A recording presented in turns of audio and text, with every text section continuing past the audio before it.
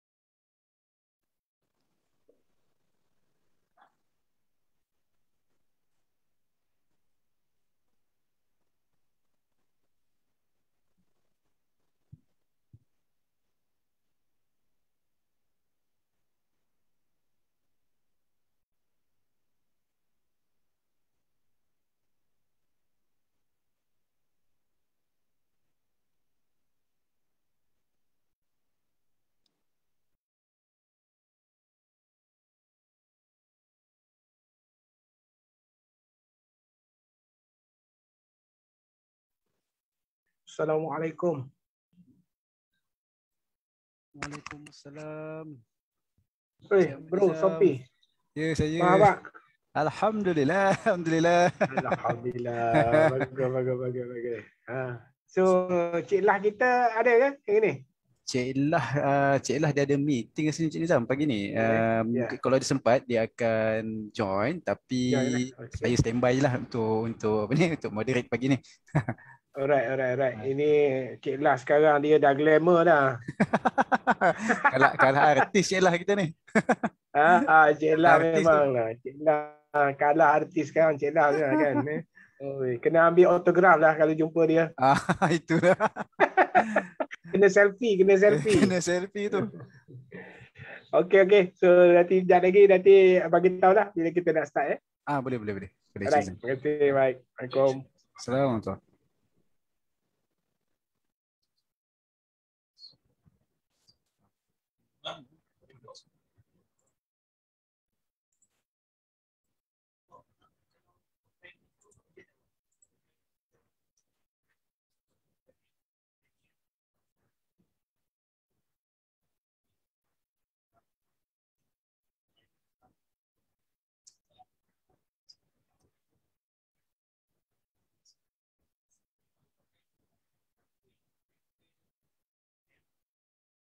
that love it.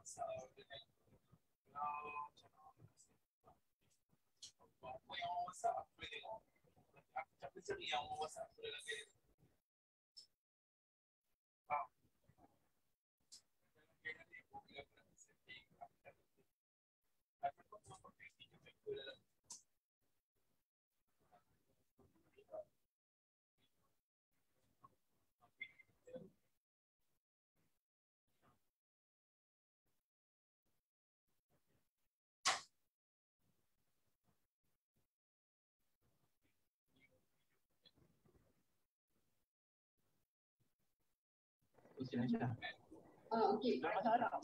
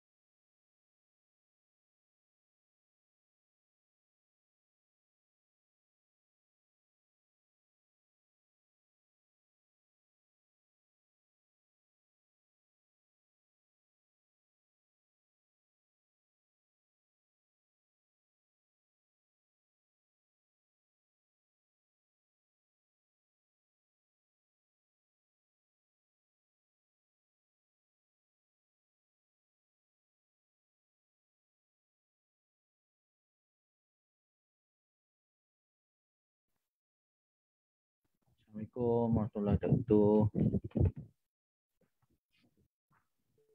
Waalaikumsalam warahmatullahi wabarakatuh.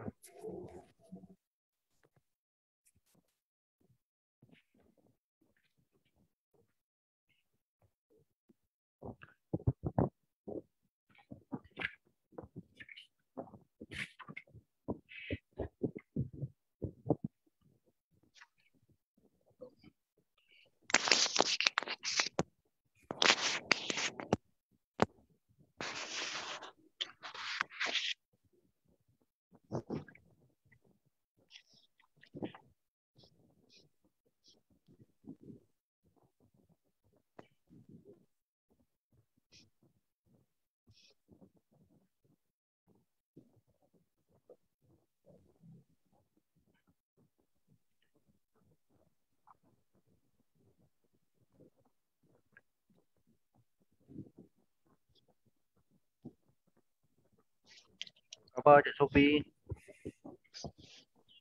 Assalamualaikum, selamat pagi. Okey. Okey, uh, Waalaikumsalam Cik Uzairi. Apa khabar Cik Uzairi? Alhamdulillah okey, sihat. Ah, Cik Lah tak dapat bersama kita pagi ni tapi dia akan join lewat sikit lah. Ha, se- sebab dia ada meeting dengan apa ni Jami Pusat katanya pagi ni. Eh, bos besar sibuk. Oh besar. Cik Lah kita ni dah level-level artis dah ni. Itulah, dia ada maklum sendiri. Tak apa. Kita ada Prof uh, Dr. Nuraini pun ada. Ada Oh, ada. Saya pernah. Assalamualaikum. Salam. Waalaikumsalam, Prof. Datuk. Sihat Datuk. Hai. Alhamdulillah. Tapi saya dekat klinik ni. Ha. Oh, Alamak. ya Ada. ke Prof. Okay, tak ada apa. Okey je. Hmm. So, nantilah kita catch up nanti. Nak dengar juga daripada Tuan Pengarah. Hmm. Alah sama je Datuk. Yang dulu-dulu tu. Pusing-pusing macam tu je. Uh, uh, saya nak link dengan projek kat Terengganu lah. Sebab saya Ah. dalam majlis. Uh, Ah, InsyaAllah. boleh boleh. Boleh boleh Datuk. InsyaAllah. Okay, all the best lah. Hmm. Ah, thank you, thank you.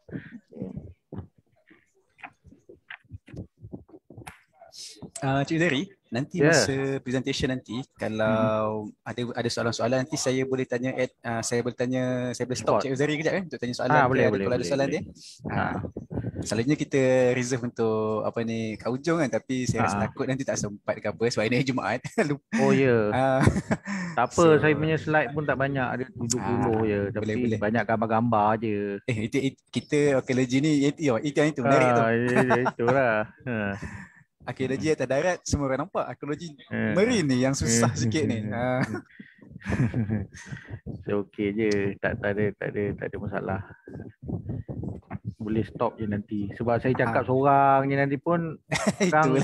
Eh, ah, itu sunyi je lah boring juga sunyi. Boring diam ada orang ke tak ada kan. Kena tengok participant ni ada berapa pula kan. Kita ni uh, satu kita live juga dekat Facebook. Okey. Uh, satu lagi kat. Zoom ni lah, Zoom ni. Ah, Ha.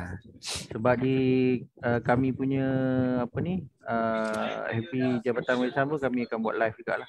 Ah, boleh boleh cik saya. Saya dah bagi link kepada kami punya komunikasi, komunikasi korporat untuk untuk live sekali. Ah, menarik menarik.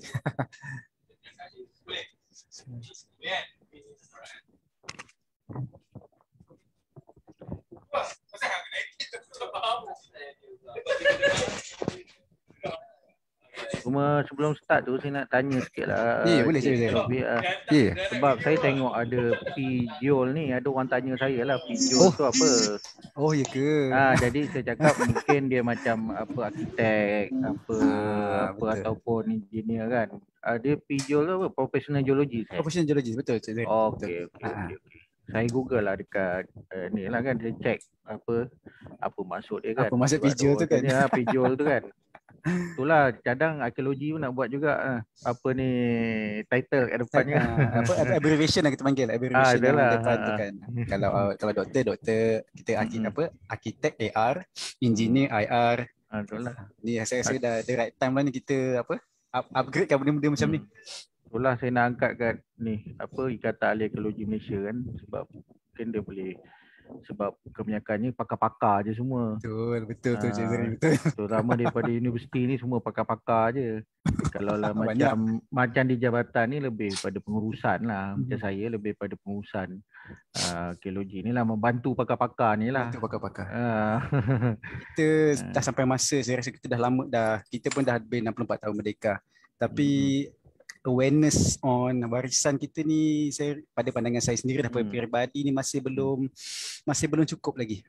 Hmm. Untuk generasi baru terutamanya. Yang tu yang Betul, pandang- betul. pada pada hemat saya lah yang saya tengok Hmm. generasi baru sekarang ni. Hmm. Kalau tanya pasal sejarah diorang kalau yang kalau yang dia ingat pun sekadar lepas SPM je Cik Zari. Hmm. Apa yang dia Hmm. belajar dalam buku je itu sahaja. Hmm. Hmm. Itulah limitnya. Hmm. Sebenarnya dunia ekologi, dunia sejarah ni, historia ni lagi besar lah pada saya. Sangat besar. Itu cakap pasal ekologi lah. Macam kami Jabatan Warisan ni cakap warisan ni kan berbagai Hmm. kan. Pelbagai. Kita ada intangible, ada tangible. Tangible. Betul, betul salah satu kami punya promosi sekarang ni kita nak menggalakkan orang memahami warisan ni kami tukar kami punya tagline lah Mhm. kenali sayangi dan lestarikan war- warisan kita lah itu tagline baru Betul, kami betul. lah so Betul. supaya orang kenal kita sayang bila sayang tu kita jagalah kan Betul. kita jaga kita punya kita punya warisan Sejarah- lah warisan Ha, sejarah bukti kita ni. ha. Bukti kewujudan kita dekat Ah. Malaysia ni. Sebab And kalau kita then- tengok ha, Hmm. Dan kita Dekat sustain. Ha. Eh overseas memang orang jaga betul-betul. Diorang betul. Yang tu yang saya Ah. tengok berbeza sangat tu. Diorang memang appreciate uh, warisan diorang ni Ha. sangat-sangat. Sangat-sangat menjaga. Hmm. Sebab Sebagai itulah bagi diorang bukti. bukti peradaban. Ha, itulah bukti kita. Kita warisan ni kalau kita jaga itulah identiti kita. Kita dah, Betul. identiti kita ni kita nak nak cari daripada mana? Daripada bukti sejarah kita lah. Betul, betul. Tamadun kita, peradaban kita. Ha, itu yang penting tu kita kaji sejarah kita daripada prasejarah sampailah ke zaman sejarah Sampai kan. Sekarang. Ha. Sekarang ni kita pun dah banyak teknologi, teknologi terkini yang saya rasa lebih advance. Dulu mungkin tak banyak teknologi untuk kita Mhm. go explore macam sekarang ni bidang Betul, marine. betul. Ha, memang kita dah teknologi dah banyak. Hmm. So kita kena, dah kena dah kena all out dah ni. dah kena all out dah ni untuk bidang ni. Betul lah. Ha, okey, ha, saya rasa dah Bukan. pukul 10 Di, di, boleh. peringkat sekolah budak-budak tak minat. Tak minat Betul. sejarah. Buat apa Ah, ni? betul. Kenapa jadi macam tu? Tapi lagi, kalau kita betul. pergi Ah. overseas kan, dia orang, dia buang budak-budak, dia memang dia tahu sejarah negara dia. Betul. Daripada Bangga sekolah lah rendah lagi. Tapi kita Hmm. tak bangga tau. Itu yang Hmm. pelik betul lah dekat kita punya Malaysia. Salahnya, salah dari segi education ni. Peringkat awal lagi tak dididik, tak diterapkan benda-benda macam ni. Itu Pak Cu rasa lah. Betul betul betul. Betul, Sebab betul, betul. sebab saya pun kita pun dah melalui zaman zaman-zaman belajar dulu. Uh, Hmm. mungkin kita perlu macam mana saya kata ya, kita perlu ubah sikit cara penyampaian uh, Hmm. bidang benda-benda berkaitan sejarah ni lebih interaktif. Dulu kita punya reference adalah buku semata-mata. Dan kita tahu zaman sekarang ni memang untuk membaca artikel yang panjang tu Betul, kurang sikit betul. minatnya. Hmm. Kalau kita Tapi boleh yang isu yang ah, sekarang ni ada, yang isu yang pelik sekarang ni, buku sejarah sekolah Cina lain, buku sejarah sekolah sekolah ah, India lain, sekolah Melayu Itu- lain macam dengan Malaysia ni. itu saya Sejarah ada macam-macam ke? Ada version macam-macam maybe. Sensitif ada lah sikit kan. Tapi kita kena ni lah. Orang yang berwajib tu kena lah buat tanggungjawab Betul, kan. Itu betul. je. Uh, untuk apa macam macam uh, Pak Chu kata tadi kalau uh, bangsa lain ada sejarah boleh tak ada masalah tapi sejarah utama Malaysia ni semua kena faham. Betul. Ya, ya, betul. semua semua kena generate. Basic tu kena faham. Basic kena faham. Ini kita Itulah. tak, tak faham habis lah. Jadi kalau tak tak kenal maka tak cinta. Tak cinta. Itulah Betul. patah orang tua tu memang betul. Saya, sekali. saya nak mohon Betul. mencelah Tuan Sofi. Saya Boleh, mohon boleh, boleh. Tuan Sofi. Boleh boleh Cik Ah, Rahmat, boleh boleh. Minta maaf. Kita Boleh, kita boleh. mula-mula ni kan. Ke macam Belum belum belum belum lagi. Saya Belum lagi.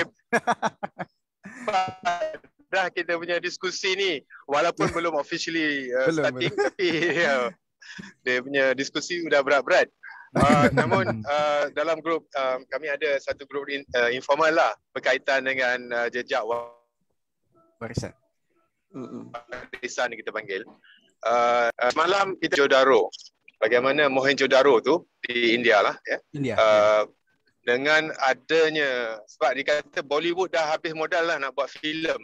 Jadi mereka sekarang banyak bergantung kepada uh, lo- lokasi yang apa ni virtual ni dah banyak orang boleh buat. Tapi Betul. eventually lokasi yang real ni lebih lebih ada obviously Nilai estetika ada dia lebih tinggi lagi lah. punya Nilai yeah, dia, yes value dia. dan juga nilai sejarah lah dan ada movie tentang Mohenjo-Daro Betul, ni. saya dah tengok dah. movie tu bukan cerita pasal Mohenjo-Daro sangat, tapi dia punya background background the whole thing is set in Mohenjo-Daro. Dan Ya. dia ada um, animasi ataupun um, virtual environment yang di, uh, ni created uh, untuk meningkatkan lagi. Mungkin tidaklah 100% Eh, betul. Namun dia meningkatkan kesedaran umum terutamanya masyarakat India semangat dia untuk lebih lanjut lagi tentang Mohenjo-Daro. Kalau tidak kita hanya belajar di sejarah purba je benda tu. Purba, Uh, betul. jadi Dan- uh, itulah uh, saya terbayang kalau Lembah Pujang contohnya atau Lenggong atau Kota Gelanggi atau mana-mana jugalah yang mungkin boleh kalau dengan kawan kita di Indonesia tu dengan Mas Dani uh, tentunya dia mau hidupkan semula Atlantis di Laut Jawa. Yeah. Bagaimana terutamanya dalam marin uh, ekologi ni yang banyak uh, sejarah kita mungkin terpendam uh, ter- terendam ataupun sudah pun di you know di Di bawah paras laut lah boleh saya katakan. dipendam oleh air jadi di bawah ya jadi uh, nah, ter, ter, menarik kerana uh, isunya berkaitan dengan visibility Betul. tadi tuan dari sebaik mungkin the intangible ni supaya lebih zaman sekarang ni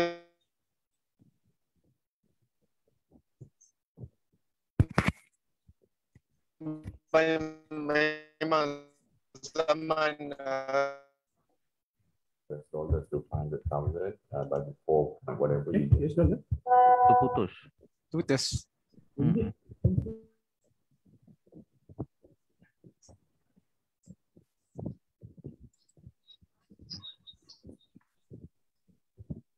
Cik Lah pergi mana ni? Cik Lah pergi menghadap Cik, cik, ke? cik lah ada meeting uh, Pak Chu. Ha. Boleh start kot ni. Okey, uh, saya rasa Okey. kita kita boleh mula kot ya.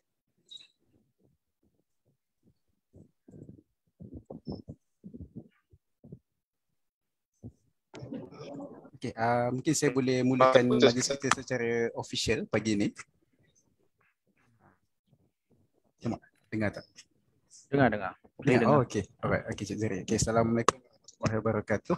Uh, hangat perbincangan pre-event kita pagi ni berkenaan dengan pelbagai topik yang boleh di diangkat uh, lebih serius ataupun diberi perhatian lebih serius.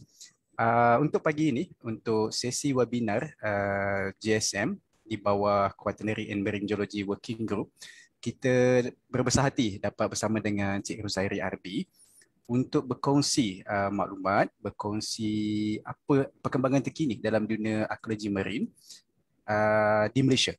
Okay, kita kita uh, kita telah tahu dunia arkeologi di Malaysia ni memang mendapat perhatian pada sekitar awal 2000 uh, tahun 2000 namun uh, dengan masa dia punya uh, momentum tu makin berkurang yang saya pun saya tak ada apa-apa spekulasi lah berkenaan momentum berkenaan bahagian geologi. Tapi untuk bahagian arkeologi adalah sesuatu yang kita perlu ambil uh, berat sebab ia melambangkan sejarah peradaban Malaysia sendiri. Yang yang di sebaliknya sejarah peradaban bangsa Melayu itu sendiri. Dan uh, kalau bukan kita yang memperjuangkan uh, berkaitan dengan uh, keagungan peradaban kita sebelum ni uh, siapa lagi lah yang akan apa uh, ingin mengambil tahu mengambil tahu pasal berkaitan dengan bidang peradaban kita. Uh, sebelum kita mula ingin saya ceritakan uh, sedikit berkenaan uh, biodata Cik IRB uh, dilahirkan pada 19 Mei 1975 uh, di wilayah Persekutuan sudah berumah tangga okey mendapat uh, ijazah sarjana muda kepujian sosiologi dan juga antropologi minor di dalam ilmu wahyu Islam uh, daripada Universiti Islam Mata Malaysia Malaysia. Uh, sepanjang tempoh perkhidmatan daripada 2001 hingga 2019 uh, saya boleh bacakan sedikit eh. Berlantikan sebagai curator S3 di Jabatan Museum dan Antiquity pada bermula pada tahun 2001 dan pada tahun 2006 uh, ditempatkan sebagai curator grade S41 di cawangan ekologi bahagian konservasi Jabatan Warisan Negara. Dan pada tahun 2011 Encik Rozari telah dinaikkan pangkat kepada curator grade S44 S44 di cawangan arkeologi bawah air bahagian ekologi Jabatan Warisan Negara yang mana selama ni kita uh, bila ber, berbicara berkaitan dengan bidang ekologi dalam kepala kita akan terbayang yang ada di darat saja. Kurang yang berkait, uh, apa ni? Memikirkan uh, bahan-bahan yang ada di bawah permukaan air dan pada tahun 2014 uh, Encik Rosari telah menjadi pengarah bahagian arkeologi Jabatan Warisan Negara dan memangku kereta Grade S48. 2015 ditempatkan di bahagian konservasi Jabatan Warisan Negara dan pada tahun yang sama juga telah dinaik uh, telah dinaikkan pangkat kepada kurator grade S40 uh, S48 dan ditempatkan sebagai pengarah bahagian arkeologi Jabatan Warisan Negara. Dan pada tahun 2019 uh, Cik Rosari telah dinaikkan pangkat kepada kurator grade S52 dan ditempatkan sebagai pengarah bahagian ekologi Jabatan Warisan Negara. Right? Okey. Uh, serba sedikit itu yang serba sedikit berkenaan dengan Cik Rosairi. Uh, panjang ni dia punya CV ni kalau kalau saya nak baca dan antara kertas kerja yang pernah dibentangkan oleh Cik Rosairi eh uh, Forum on Safeguarding and Reviving the Share Maritime Cultural Heritage of Southeast Asia Preserving Underwater Cultural Heritage in Malaysia pada tahun 2019 dan kertas kerja ini telah dibentangkan di Jakarta dan Belitung, Indonesia. Uh, dan Cik Rozari juga pernah uh, di, seminar uh, pihak kebangsaan membentangkan kertas kerja berkaitan kerajaan Kedah Tua dulu, kini dan masa depan pemeliharaan dan pemeliharaan tapak arkeologi Kedah. Uh, 2019 ni tak, tak terlalu lama lah. Okay, sekarang kita baru tahun 2021 dan uh, pada tahun 2017 ada uh, Cik Zahri juga telah berkongsi pembentangan kertas kerja seminar batu megalitik Negeri Sembilan pemeliharaan dan pemeliharaan warisan arkeologi batu megalitik melalui Akta Warisan Kebangsaan Akta 645 uh, daripada biodata Cik Rozari saya boleh katakan pengalaman kerja Cik Rozari di bidang arkeologi sangat luas daripada darat membawa kepada uh, ke dalam air di mana jawatan yang disandang oleh Cik Rozari uh, buat masa kini dan tanpa melengahkan masa uh, saya serahkan skrin uh, atau saya serahkan uh, floor tu Encik Rozari lah untuk sesi perkongsian Encik Rozari pada pagi ini. Encik Rozari, the floor is yours. Assalamualaikum, uh, salam sejahtera, selamat pagi. Uh, saya belum share skrin lagi lah. Saya pun ah, tak apa, tak apa. Uh, aluan dulu. boleh, Terima boleh, kasih boleh. kepada pengurusi sesi Cik Muhammad Saufi Sukima.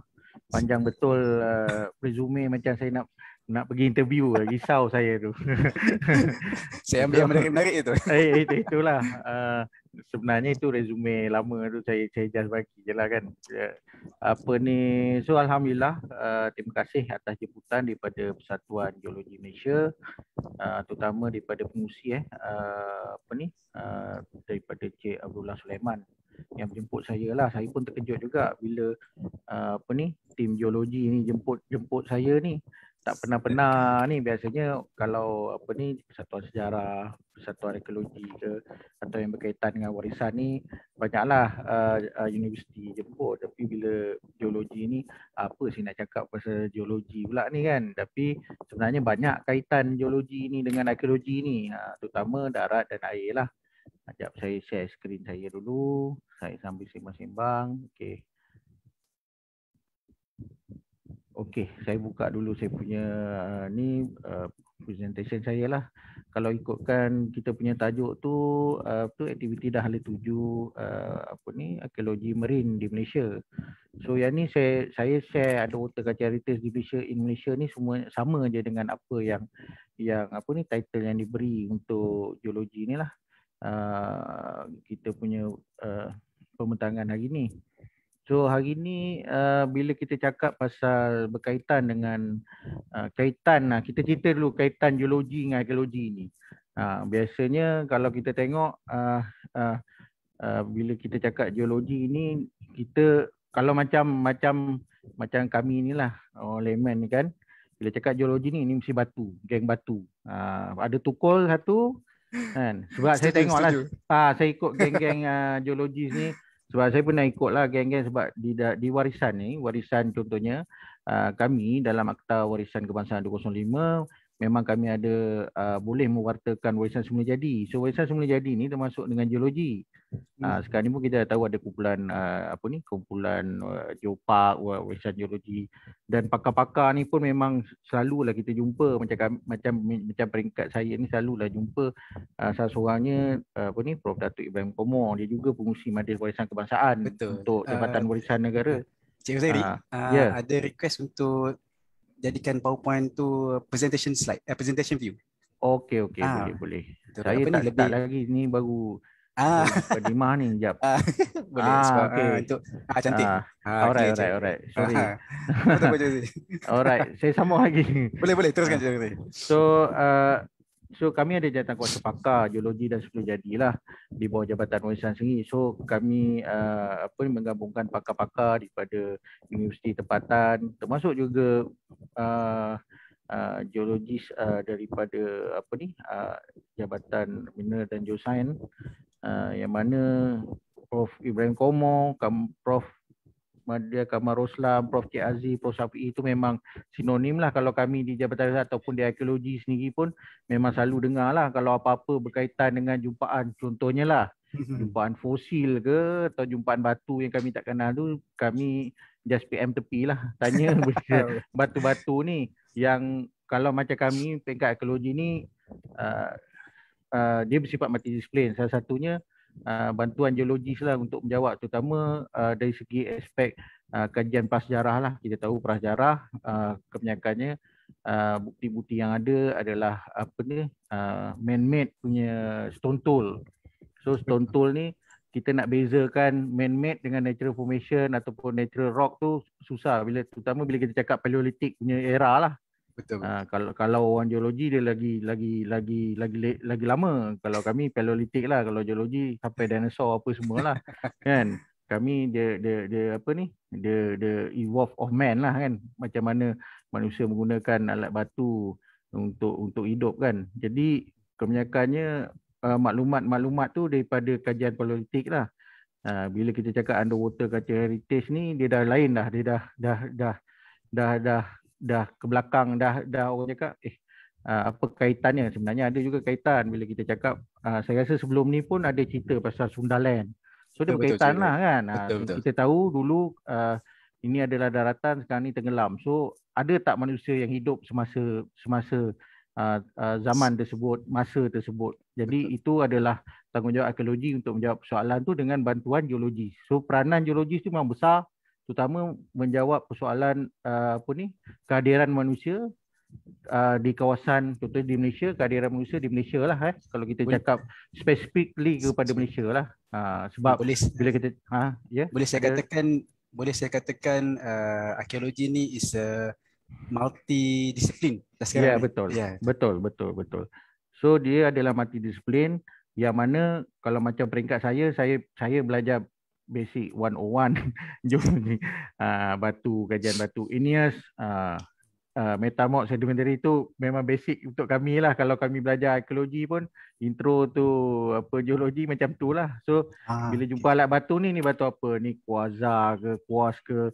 Uh, apa ni? Batu sedimen ke apa ke? Macam-macam Mhm. lah kan. Jadi uh, banyak benda yang yang kadang-kadang secara tak langsung kami belajar tentang geologis. Jadi bila kadang-kadang bercampur dengan pakar-pakar ni, oh ni batu ni, oh ni yang aku jumpa hari tu masa di site arkeologi ni. Ha, jadi pentingnya arkeologi terhadap geologis ni memang memang saya rasa banyak sumbangan besar lah. So saya tak nafikan lah terutama bila kita tengok ada juga pakar arkeologis yang merupakan geologis sebelumnya seperti Ah. uh, Prof Datuk Mokhtar Saidin. Tak Muhammad Saidin betul. Ah, so Betul, dia betul. yang banyak buat kajian di uh, di apa tu di Lembah Lenggong Lembah- so, hingga mendapat warisan dunia hasil daripada kajian geologis uh, apa dia dan juga kajian arkeologis.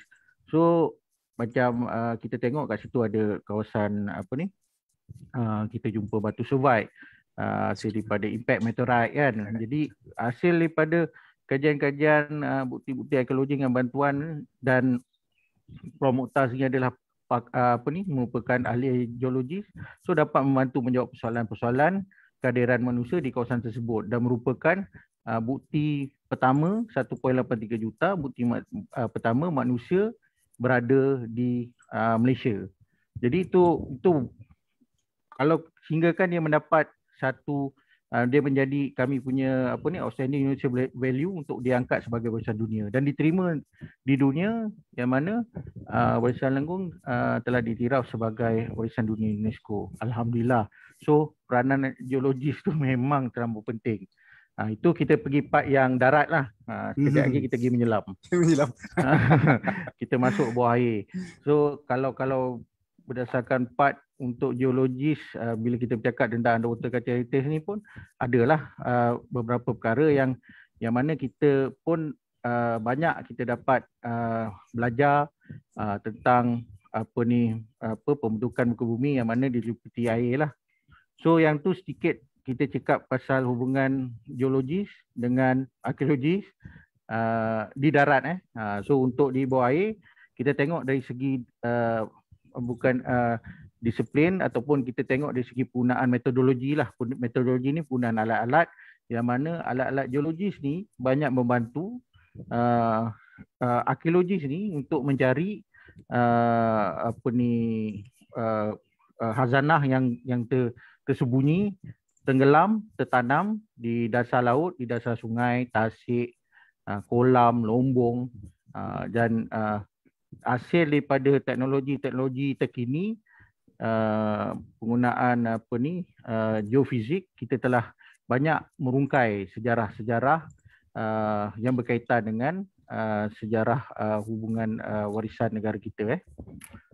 So saya teruskan Okey, kalau kita tengok eh uh, apa ni Malaysia ni memang kalau dikelilingi oleh air lah. Kalau kita tengok eh daripada daripada Semenanjung hingga ke apa ni Sabah, Sabah Sarawak, Sarawak hmm. eh.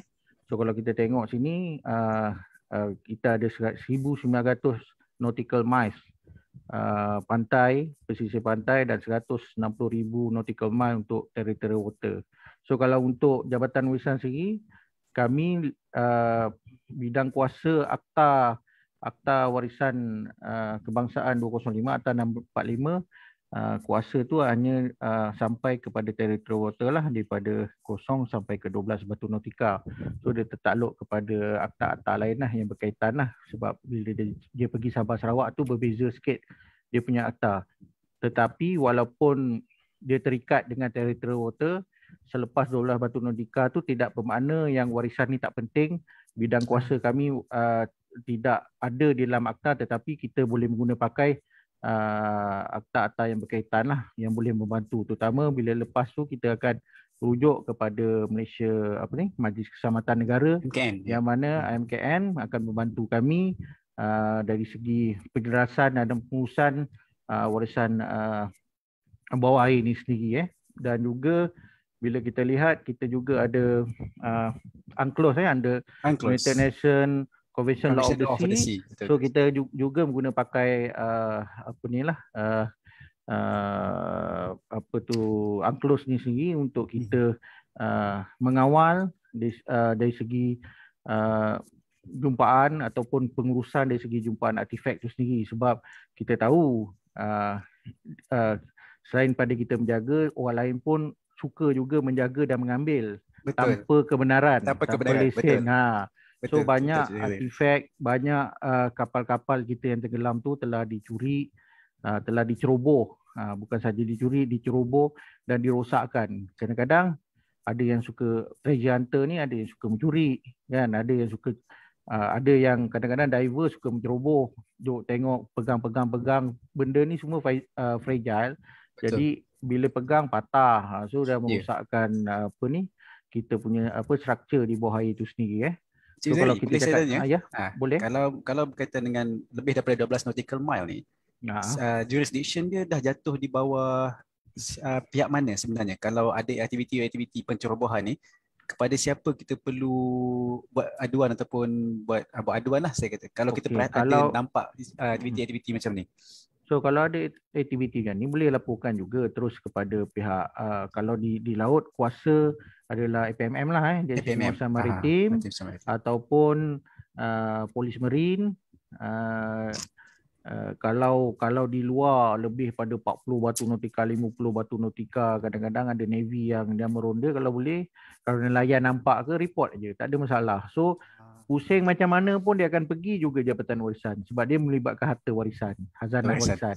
So dia akan pergi ke saya, saya akan linkkan kepada MKN lah, bidang kuasa MKN. MKN pun dia tak ada uh, dia tak ada pakar di dalam uh, underwater uh, ni mungkin dari segi uh, kuasa dia. So dari segi uh, bagaimana nak menguruskan, bagaimana nak buat conservation, bagaimana kita nak tangani uh, perkara ni, kita nak monitor apa semua enforcement apa semua kita boleh bantu uh, sebagaimana yang kita pernah buat lah uh, uh, untuk menjaga tapak-tapak uh, macam ni lah supaya benda ni tak hilang.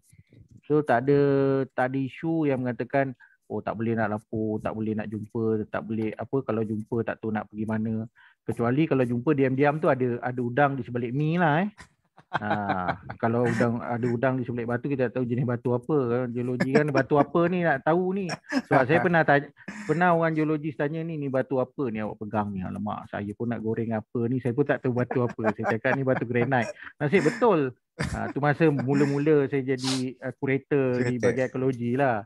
Dia tanya ni batu apa kan. Saya pun tak tahu kan. Sebab kita ekologis kadang-kadang kita tak tahu. Batu kan banyak alat batu digunakan. Batu Betul, betul, kebanyakannya Uh, uh, batu pebble kan. Uh, sungai, batu sungai. Uh, jadi dia test saya lah. Oh, ni batu. Oh, nasib Alhamdulillah lah betul. Kalau tak salah tu tak apalah. Mungkinlah dia beritahu apa. Cuma dia senyum je lah kat saya kan. So uh, bila kita cakap tentang tadi eh.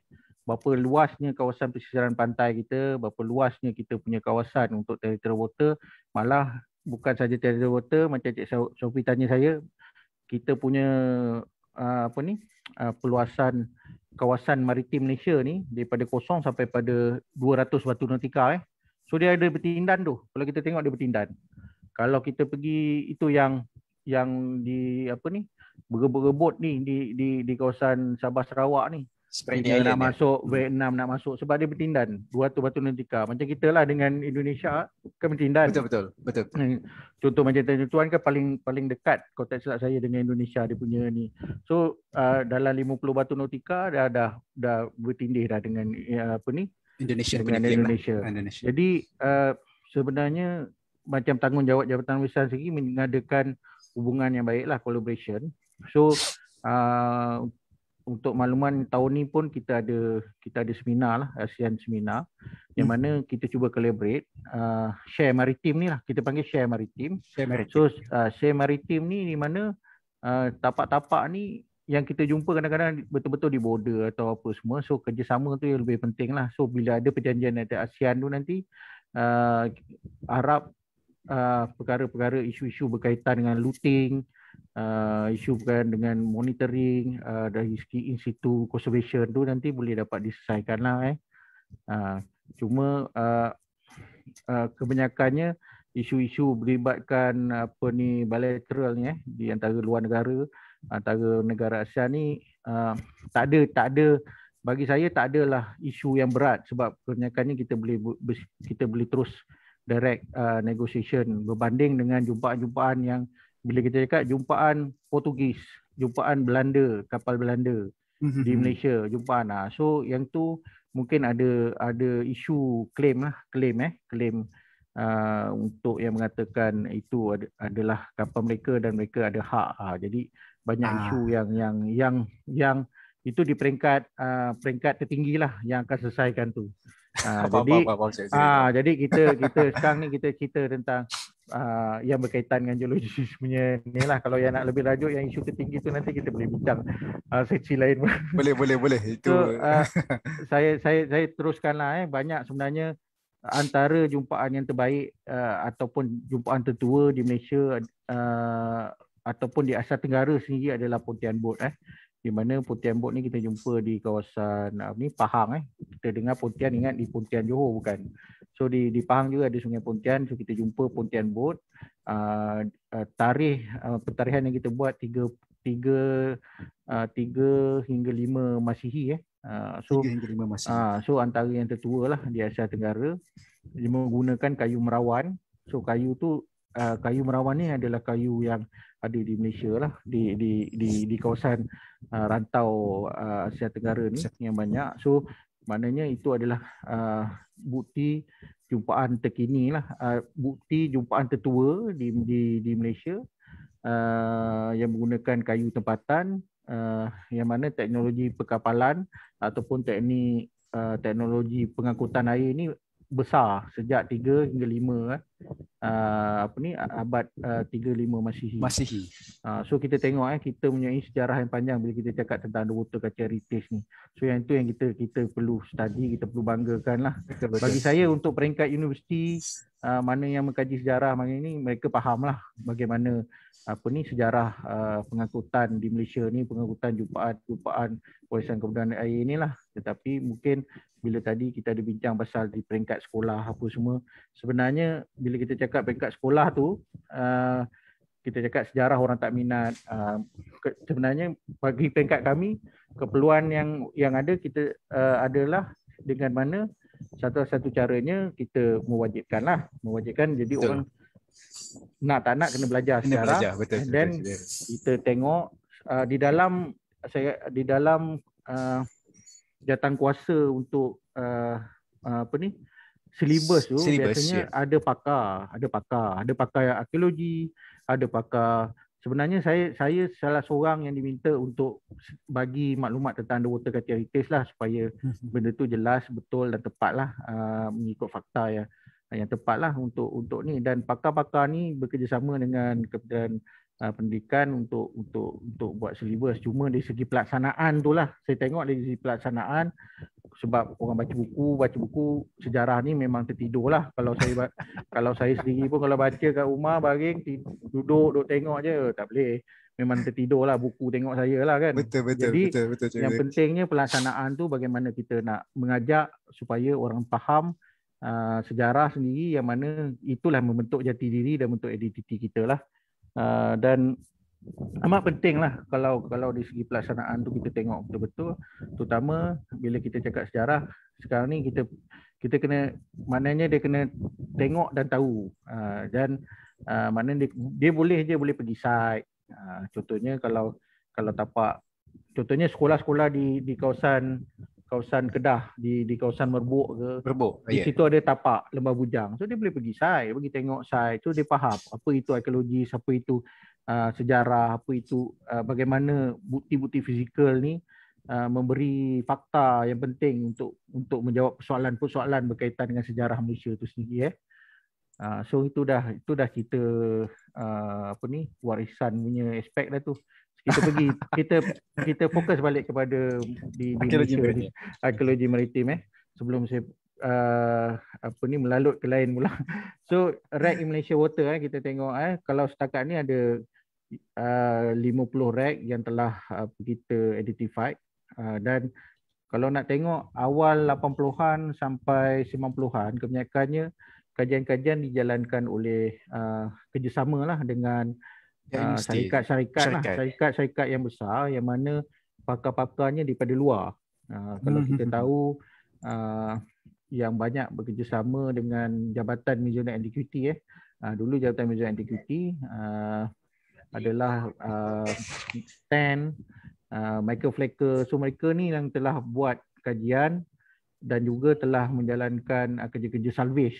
So maknanya Salvage. kajian dan salvage yang telah uh, banyak uh, salvage uh, excavation untuk uh, uh, seramik jumpaan-jumpaan uh, uh, fokus mereka banyak pada kapal kayu lah kapal perdagangan daripada China uh, apa Ming uh, daripada Ming hingga ke Qing lah eh, banyak kita jumpa terutama di kawasan belah pantai timur lah. Lebih mudah untuk kita dapat di pantai timur kena air je lah kita tengok visibility air tu lebih lebih mudah Yes, nampak walaupun nampak. dalam 40 meter 50 meter so kita nampak eh so Betul betul. uh, kalau ikutkan kita ada banyak buku rekod yang menunjukkan uh, di Malaysia ni sebenarnya banyak kapal karam tetapi tak semua yang kita jumpa ataupun hilang. Kalau kita tengok sini rekod yang saya ada 6 6000 lah yang rek yang ada tapi dalam 6,000, rekod kami tak sampai ha 6000 sampai tu banyak tu. memang banyak.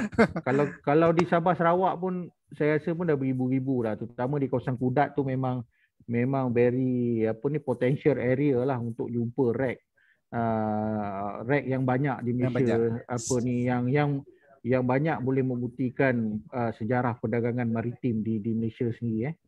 Dan kalau kita tengok sini ada 20 rek yang telah survey dan telah disurvey dan telah excavated lah. Tu semua adalah uh, bantuan daripada pakar-pakar daripada luar negara lah. Uh, dari uh, daripada Australia, Singapura dan sebagainya lah.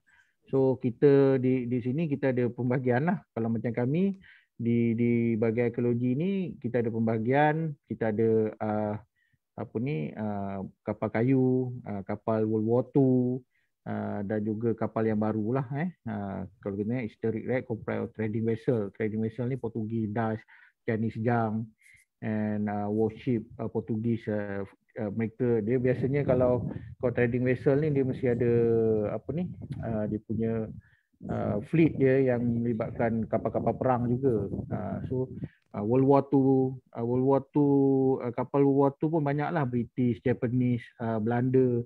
Tetapi kapal-kapal ni yang banyak menarik minat. Uh, geng-geng mencari uh, mencari harta karun ataupun mencari uh, apa ni uh, besi copper di di kapal ni lah. So kadang-kadang mencari topi-topi apa ni uh, askar-askar yang gugur di semasa tu untuk dijadikan uh, apa ni sebagai satu memori apa ni sebagai satu souvenir untuk mereka kan. Jadi diver-diver ni kita takut uh, bila bila mereka dive di kawasan-kawasan macam ni mereka suka mengambil untuk jadikan satu kenangan oh dulu aku dah dive di Repulse dengan Wheels Repulse dengan Wheels tu di di di Kelantan uh, di Kuantan dalam 49 batu nautica miles kat situ pun mereka sanggup menyelam lah walaupun uh, kedalamannya melebihi 40 meter 45 meter macam tu Uh, yang tu memerlukan specialities tu kalau ah, lebih daripada mereka, 40 meter. Dia kan? mereka seperti dia tak boleh guna scuba walaupun dia guna scuba pun dia kena uh, teknik penyelaman penyelaman ni pun dah lain lah. Mereka betul, dah betul, menggunakan di uh, biasanya kita kita mengelak ke kalau scuba di compression sickness tu lah. So betul. sekarang ni mereka menggunakan uh, teknik yang yang lain lah lebih technical diving. So sekarang ni makin advance kita pun alat kita makan advance untuk detect, orang pun makan advance untuk mencuri mendapatkan ni. Bila bila alat-alat ni dah ada, mereka boleh penetrate sampai ke 200 meter, 300 meter. Even Titanic yang beribu meter pun orang dah boleh boleh boleh boleh sampai ke tahap Betul. tu. So penggunaan alat-alat ni yang mana banyak membantu ekologi dan juga kadang-kadang menyusahkan jugalah. Uh, sebab bila alat satu alat yang bagus tu bila disalah guna dia akan jadi macam-macam lah tu yang, tu yang kadang-kadang dari segi enforcement dan kawalan tu yang penting. So ini uh, law relating to Malaysia Marine and Maritime uh, activities lah. So kita ada uh, Nationality Act 205 Act uh, 6, uh, 645 uh, yang ini di bawah Department of Nationality lah uh, sebagai caretaker untuk untuk akta warisan kebangsaan ni. And uh, dibantu dengan merchant uh, the merchant shipping ordinance. Juga di bawah jabatan laut eh? Jabatan Laut. Itu di bawah MSO di bawah Jabatan laut. Ha MSO pet, uh, dan untuk enforcement kita ada Maritime Enforcement Agency Act lah. So maritime yang membantu kita lah. Macam kami kami tak ada kapal, kami tak ada boat, tak ada apa kan. Uh, apa kami ada akta. Jadi uh, bagaimana kami nak monitor, bagaimana kami nak dengan bantuan uh, kerjasama dengan APMM, ya, ya, kerjasama ya, dengan APMM dan juga dengan Navy lah kita kita kerjasama. So ini Jadi, adalah ya. Ha, ada ya, ada satu soalan ni daripada boleh. Pak Cu kita ni. boleh boleh boleh. Uh, adakah arkeologi uh, dapat memastikan sebab-sebab kapal tu tenggelam? menggunakan ilmu-ilmu daripada boleh boleh ni? boleh uh, biasanya bila kita bila uh, kita jumpa kapal uh, bila ada orang laporkan ada ada jumpaan kapal. Jadi salah satu cara uh, apa yang kami buat kita akan pergi survey lah. Kita akan survey. kita pergi assess tempat tu and then kita tengok kita identify and kita justify lah. Uh, tu kapal baru, kapal lama ataupun kap, uh, kita uh, kita tengok dari segi artifact, dari segi struktur macam mana lah. Kalau kayu itu kita boleh kalau kita tengok kayu je kita boleh justify ini mungkin kapal lama. Kalau besi dah tentulah besi dah tentulah baru. Uh, jadi bila, eh, bila kita tengok kapal kayu kapal lama and then bila kita tengok uh, apa ni artifact yang kita jumpa. Kita tak jumpa artifact pun. Kita dah jumpa macam pikat-pikat pecah apa semua mungkin dia bukan kapal perdagangan. Ha tu satulah. Biasanya kita kita boleh kita boleh lihat sendiri berda- berdasarkan jumpaan tersebut lah. Dan kita tengok orientation kapal tu lah kat mana dia jumpa. Contohnya kita jumpa di kawasan seperti mana yang kita jumpa di Pulau Bidong lah eh. Pulau Bidong, Oh, Pulau kita Bidong, jumpa betul. satu kapal, di situ banyak jumpa artifak. Dia punya artifaknya daripada Thailand, daripada apa ni kurun ke kurun ke uh, 14 hingga ke 16 uh, kapal kapal apa ni uh, kapal berdagang perdagangan Kapal uh, dan berdasarkan jumpaan-jumpaan tu adalah artifak uh, sawan kalok uh, daripada Thailand. Dah bukti pun kita dah buat. And uh, dan kita nak tengok orientation di arah ke mana dan kita tahu dulu memang itu merupakan laluan utama. Dan bila kita tengok kawasan-kawasan ni bila monsun kan kawasan ni kan uh, kita tahu kan ombak kuat Betul, dan betul, kawasan uh, dia senang je. Kadang-kadang kapal ni kalau kita tengok uh, terutama di kawasan yang ada reef tau. Reef ni kan dia tinggi. Betul. kadang kapal lama dia guna layar. Kadang angin kuat kadang dia tak boleh ni. Kau kebanyakannya kapal-kapal. Macam kami lah kalau kami nak mencari kapal ni kami cari kawasan-kawasan yang yang yang risiko untuk kapal lain. Kapal sekarang ni nak lalu takut. Ah so kita boleh tengok kat situ. Macam kita tengok Tanjung Tuan sendiri. Tanjung Tuan kan Ah. kita ada air pusing kat situ. Kenapa Betul. banyak kapal kat bawah tu? Ah, sebabnya ah, kita tahu kan ah, bila bila ada peperangan apa semua uh, kapal akan drift akan hanyut dan akan arus kat situ laju dan berpusing dan akan akan tenggelam di sadai bawah lah, ha, kena sadai Ha, di dia situ. macam tu lah.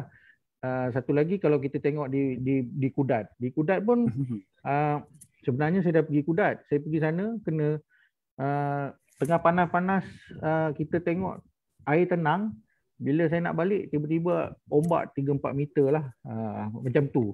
So maknanya keadaan cuaca pun ambil kira lah. Tiba-tiba Ah, betul betul betul. ombak kuat betul, yang betul, mana kita tak sempat nak nak bersedia bersedia ha, itu yang yang sekarang ni lah kalau yang dulu tu pasal kita tengok kat Kudat banyak kapal-kapal Shipwreck. uh, shipwreck Shipwreck. yang mana kapal perdagangan ni mungkin dia nak berlindung uh, masuk ke dalam daripada luar Laut Cina. Selatan nak masuk ke area uh, apa ni ke laluan yang lebih selamat. Selamat. tetapi kat situ ada reef ada batu karang yang yang panjang yang Yang yang yang petu kawasan yang cetek dan melibatkan dia.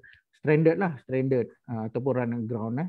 Uh, itu kita tengok yang ada reef kalau kita tengok di kawasan yang ada uh, beting pasir uh, kalau kita di, di di Pahang kalau kita tengok di muara Sungai Pahang di muara Sungai Pahang biasanya ada sedimentation kat situ. So adanya pasir kadang-kadang kan?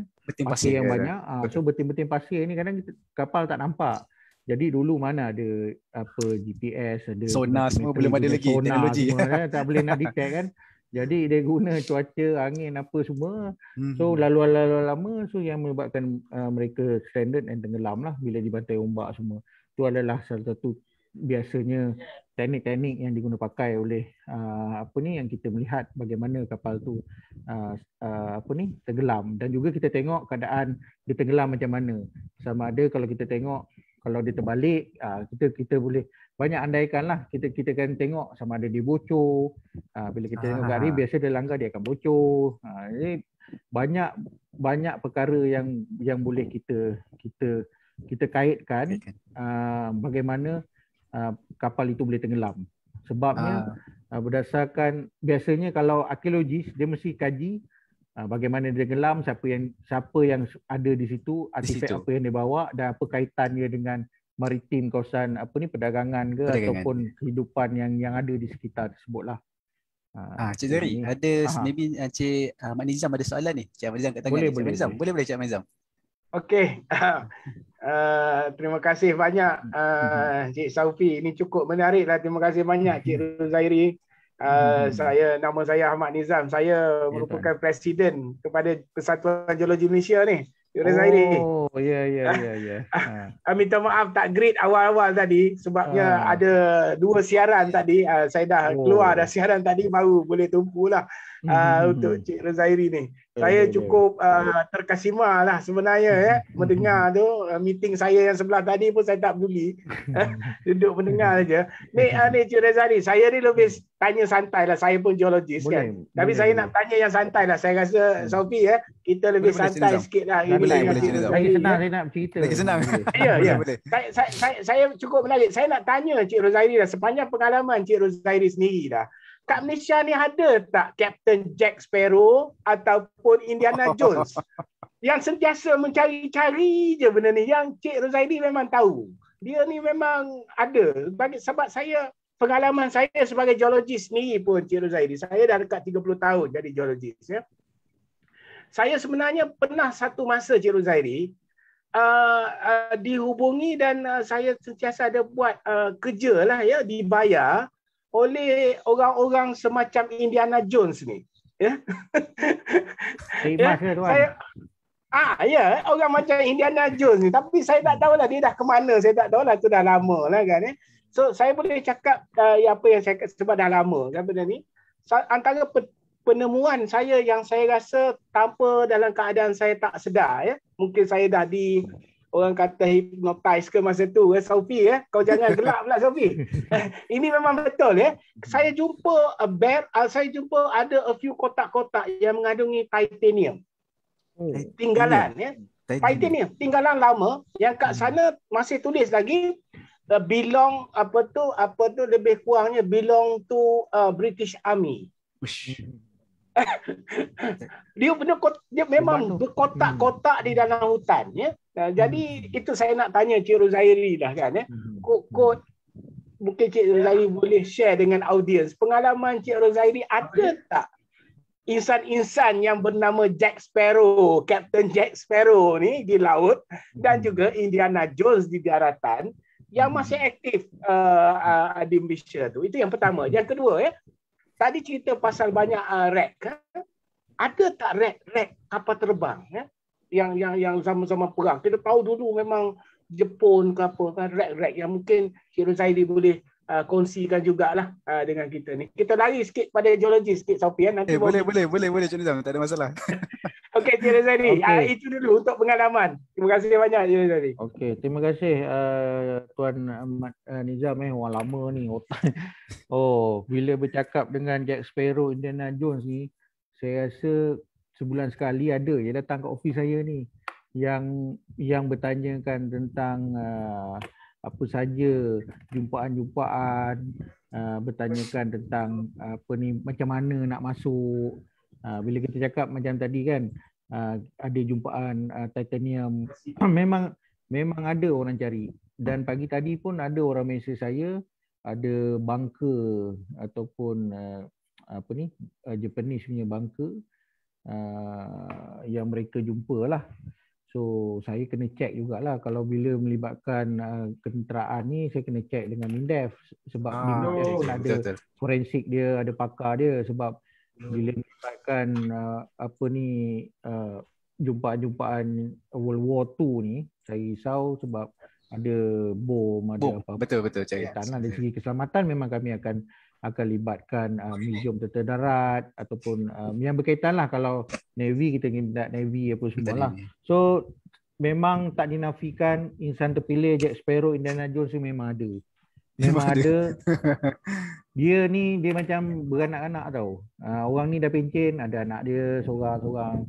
Uh, memang ramai uh, mencari uh, tim-tim ni lah. Ada yang bagus yang nak kerjasama dengan Jabatan Warisan. Uh, sebab dia tahu benda ni salah. Ha, dia macam ni lah. Kalau kita bawa kereta, tak ada lesen. Lagi tak kena tamuli, tak ada apalah. Macam atas, atas kita pun macam tu lah. Kalau apa-apa kerja, apa-apa kerja untuk buat salvage ataupun mencari uh, penggalian di mana-mana tempat di daratan apa semua, perlu dapatkan lesen daripada Jabatan Warisan. So dengan lesen yang ada tu, mereka dibenarkan lah. So lesen untuk mereka lepas, mereka perlu present pada kita apa tujuan dia nak cari nak cari hmm. harta karun ke nak cari apa ke untuk untuk sejarah ke. Tapi bila mereka datang ke saya ni dengan saya ni nak mempertahankan sejarah ni Malaysia nak sejarah ni. Ha, tapi sebenarnya dia dah ambil banyak dah buat banyak rumah dah. dia. Ha, so kami boleh bila kita tanya tanya kita trace apa ha, kadang-kadang ada yang ada yang komen. Ha, biasalah ha, kadang-kadang ada yang yang daripada cerita orang cerita orang cerita orang. Lepas tu datang kat saya oh ni saya ada jumpa kapal ni besar ni apa semua ni banyak artifak banyak emas apa semua okey lah uh, kat mana oh ni lah orang cerita ni ni oh you menyelam oh ya ya ya ya ya, ya. dia tak ikat dia menyelam rupanya dia menyelam pun tak pernah Ha, menyelam kat parit dia, dia pernah. Tu pun ada, memang ada.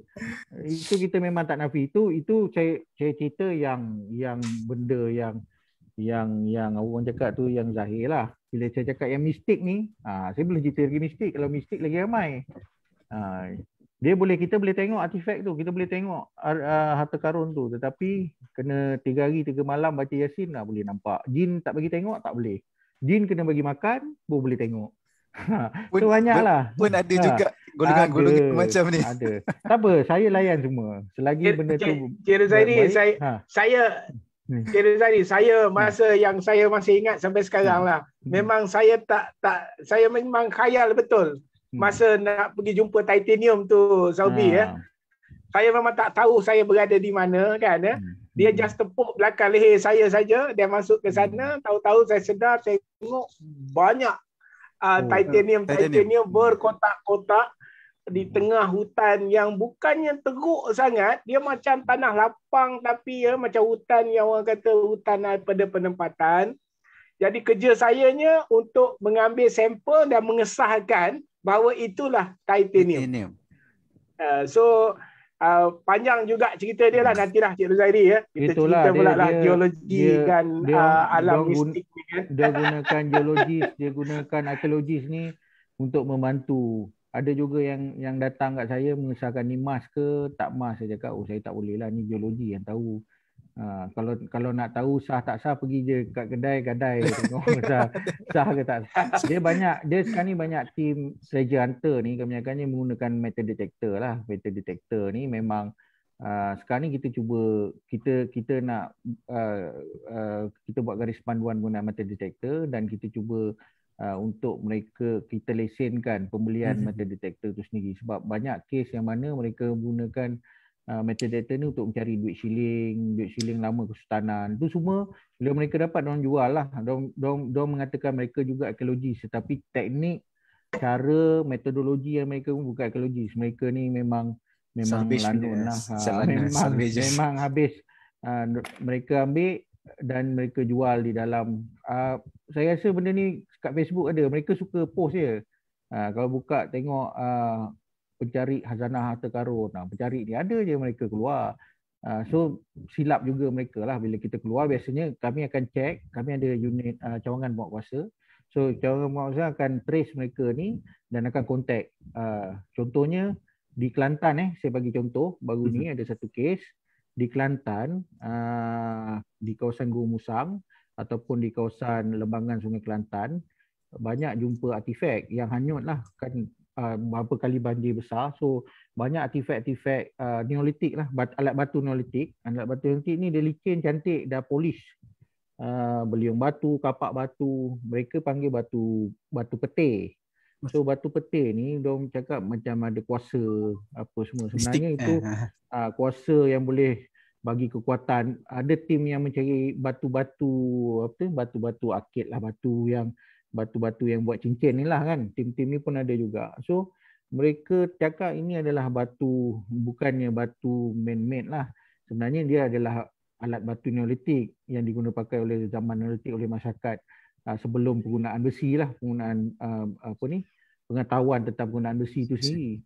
So banyak orang cari and then diorang jual lah. So banyak yang cantik-cantik yang mana yang ni bukti dekat kita tak ada di di Jabatan Museum ataupun Jabatan Museum tak ada. So penting untuk kita kita dapatkan benda tu itulah sejarah kita bukti kita untuk kita record. Uh, jadi bila dia ambil bila kami tanya dia ada batu, dia cakap ni bukan batu, artifak, dia bukan artifak lah maknanya bukan bukan dibuat untuk penggunaan harian apa semualah. Dia lebih pada batu putih itu silap. Dan dan kebanyakannya orang yang mencari ni dia ada bersifat mis, mistik jugalah. Dia ada uh, dia ada dia ada macam tu lah macam uh, Cik Ahmad tadi cakap dia boleh tepuk-tepuk belakang ni. Itulah saya risau sebab kadang-kadang ada yang datang kat dekat office jawatan warisan ni tenung bila kita cakap dia mata pun tak berkelip pun ada. So pengalaman tu banyak lah. Kalau kami duduk arkeologi ni memang pengalaman yang macam tu banyak. Mistik-mistik ni yang banyak lah.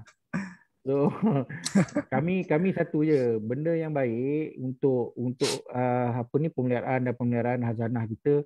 So kita akan kita akan bantu secara baik secara baik dan secara teratur supaya benda ni dijaga direkodkan di di di apa ni dihebahkan pada orang ramai tentang jumpaan tersebut. Tapi kalau bersifat yang untuk mencuri atau untuk mendapatkan something untuk untuk personal interest biasanya kami elakkan lah dan biasa kami akan cuba uh, apa nas- nasihat supaya benda ni uh, ada akta, ada lesen, perlu ada lesen dan uh, perlu ikut peraturan-peraturan tertentu uh, sebab apa saja jumpaan di Malaysia uh, adalah hak milik kerajaan sendirilah kerajaan negeri atau kerajaan persekutuan dan bukan hak milik individu. Dan setiap jumpaan-jumpaan ni kalau ada pemiliknya sebenarnya dalam akta kita kita boleh bagi pempasan lah. Terutama uh, artifak-artifak uh, apa ni boleh alih lah. Bila saya cakap Ya, boleh ya. alih ni artifak yang artifak kecil-kecil lah. Kalau yang tak alih tu adalah struktur bangunan Hmm. semua lah so saya tahu yang akan biasa orang uh, Jack Sparrow Indiana Jones ni biasanya akan jumpa geologis bila nak tentukan macam tadi lah jatuhnya Mars semualah. Uh, dan mereka akan makan eh ni kita rahsia ni jangan bagi tahu ni. Kalau kena ni bahaya ni ha, ni sebab akta tu ada di jabatan warisan. Uh, jadi mereka akan approach. Uh, tu biasalah. Lagi orang lama kan lagi lagi tahu tentang uh, apa jaluran Mars lah jaluran apa saja yang berkaitan ni lah. So tumpuan kat belah Pahang dekat belah Kelantan tu memang memang kuat lah untuk Memang mencari artifak uh, dan ada juga yang menggunakan uh, surat-surat dikeluar Jabatan Warisan ataupun surat-surat yang dikeluarkan daripada istana untuk mendapatkan uh, artifak-artifak ni sendirilah. So kita kita senang je lah. Kalau dia betul dia nak buat, dia pergi je Jabatan Warisan, kita bagi teknik peraturan, kita tunjuk cara yang betul. Dan kita di sini ada jawatankuasa pakar, jawatankuasa arkeologi. Uh, jawatankuasa pakar arkeologi merakumi arkeologi darat dan bawah air. Boy. Jadi uh, kalau mereka tak tahu, kalau macam kami pun tak boleh nak nak selesai, kita boleh minta ba- bantuan jawatankuasa pakar. Jawatankuasa pakar ni uh, uh, untuk jawatankuasa pakar arkeologi pengurusi adalah Prof Mukhtar sendiri, Prof Datuk Mukhtar Saidin. Dia pun geologis. Ya betul. Uh, dan juga uh, kita ada daripada UKM, UM, UPSI dan jawatankuasa pakar untuk bawah air ni kita ada daripada UMS. So kita gabung satu Malaysia ni. So maknanya kalau apa-apa isu berkaitan dengan jumpaan ni kita akan bawa hingga ke peringkat tertinggi lah. Daripada Mhm. jawatankuasa pakar, kita boleh pergi ke Persujaya Besar hingga ke peringkat kementerian hingga ke peringkat yang lebih tinggi lah. Lebih tinggi. Uh, kalau yang mana uh, dari segi apa ni kita punya uh, kesesuaian untuk mendapat keputusan yang baik. So Jack Sparrow Indiana Jones akan wujud selama-lamanya selagi ada budaya bintang, selagi ada artifak lah. Selagi ada selagi ada ah, selagi ada sejarah. Walaupun sejarah ni kita dah contoh lah eh. Kayak Mhm. kita di di Lembah Bujang walaupun benda tu dah reconstruct uh, apa ni tempat tu dan bukan original pun masih lagi orang nak mencuri batu di di di di Lembah Bujang lah. Uh, so ada banyak-banyak banyak benda yang yang yang kalau saya cerita kat sini isu-isu berkaitan ekologi, isu-isu berkaitan pengambilan artifak, isu-isu penjagaan apa semua akan akan panjang lah bila bila kita melibatkan Jack Sparrow dan Indiana Jones. Indiana yang Jones. mana kita boleh check je kat FB memang ada ramai. Geng geng nominastik cari duit shilling. Geng uh, arkeologi tubuh sendiri punya arkeologi kan. Uh, jadi kita kita kita tak kisah siapa nak tubuh arkeologi. Uh, uh, dia nak buat kajian tapi perlu ada peraturan, Peraturan. ada syarat ada undang-undang yang mana mereka perlu mendapatkan maklumat macam orang lah nak buat kuari pun perlu ada uh, peraturan bukan boleh main Betul. korek sini korek Betul. sana sama aja uh, dan itu isu kuari itu pun satu isu jugalah sebabnya dia akan melibatkan uh, tapak formation uh, apa ni uh, apa ni limestone ataupun apa saja formation dan juga kebanyakan limestone ni banyak tapak arkeologi uh, Ya prasejarah. betul Cik isu. betul. Itu pun isu, Isu satu, ni hangat satu tu. isu, ah, Isu hangat, hangat yang, ni. yang mana yang kadang-kadang uh, geologis dan arkeologi kita bergabung lah untuk kita kita selamatkan uh, sebab sekarang ni geologis lebih semangat untuk menjadikan tapak-tapak sebagai geopark sebagainya tapak pelancongan instead of kuari kita boleh jadikan uh, kawasan satu kawasan pelancongan yang Pelancongan. menarik yang menggabungkan arkeologi dan juga geologi. Geologi. Ha, so banyaklah persamaan-persamaan yang yang mana geologis dan arkeologis ni membantulah. So saya teruskan Boleh boleh Cik kepada, Zari, teruskan teruskan. uh, definition. Boleh by definition. Memang hangat kita pagi ni. Okey, kalau untuk underwater culture heritage ni saya ambil di bawah akta lah uh, section 2 di bawah tafsiran.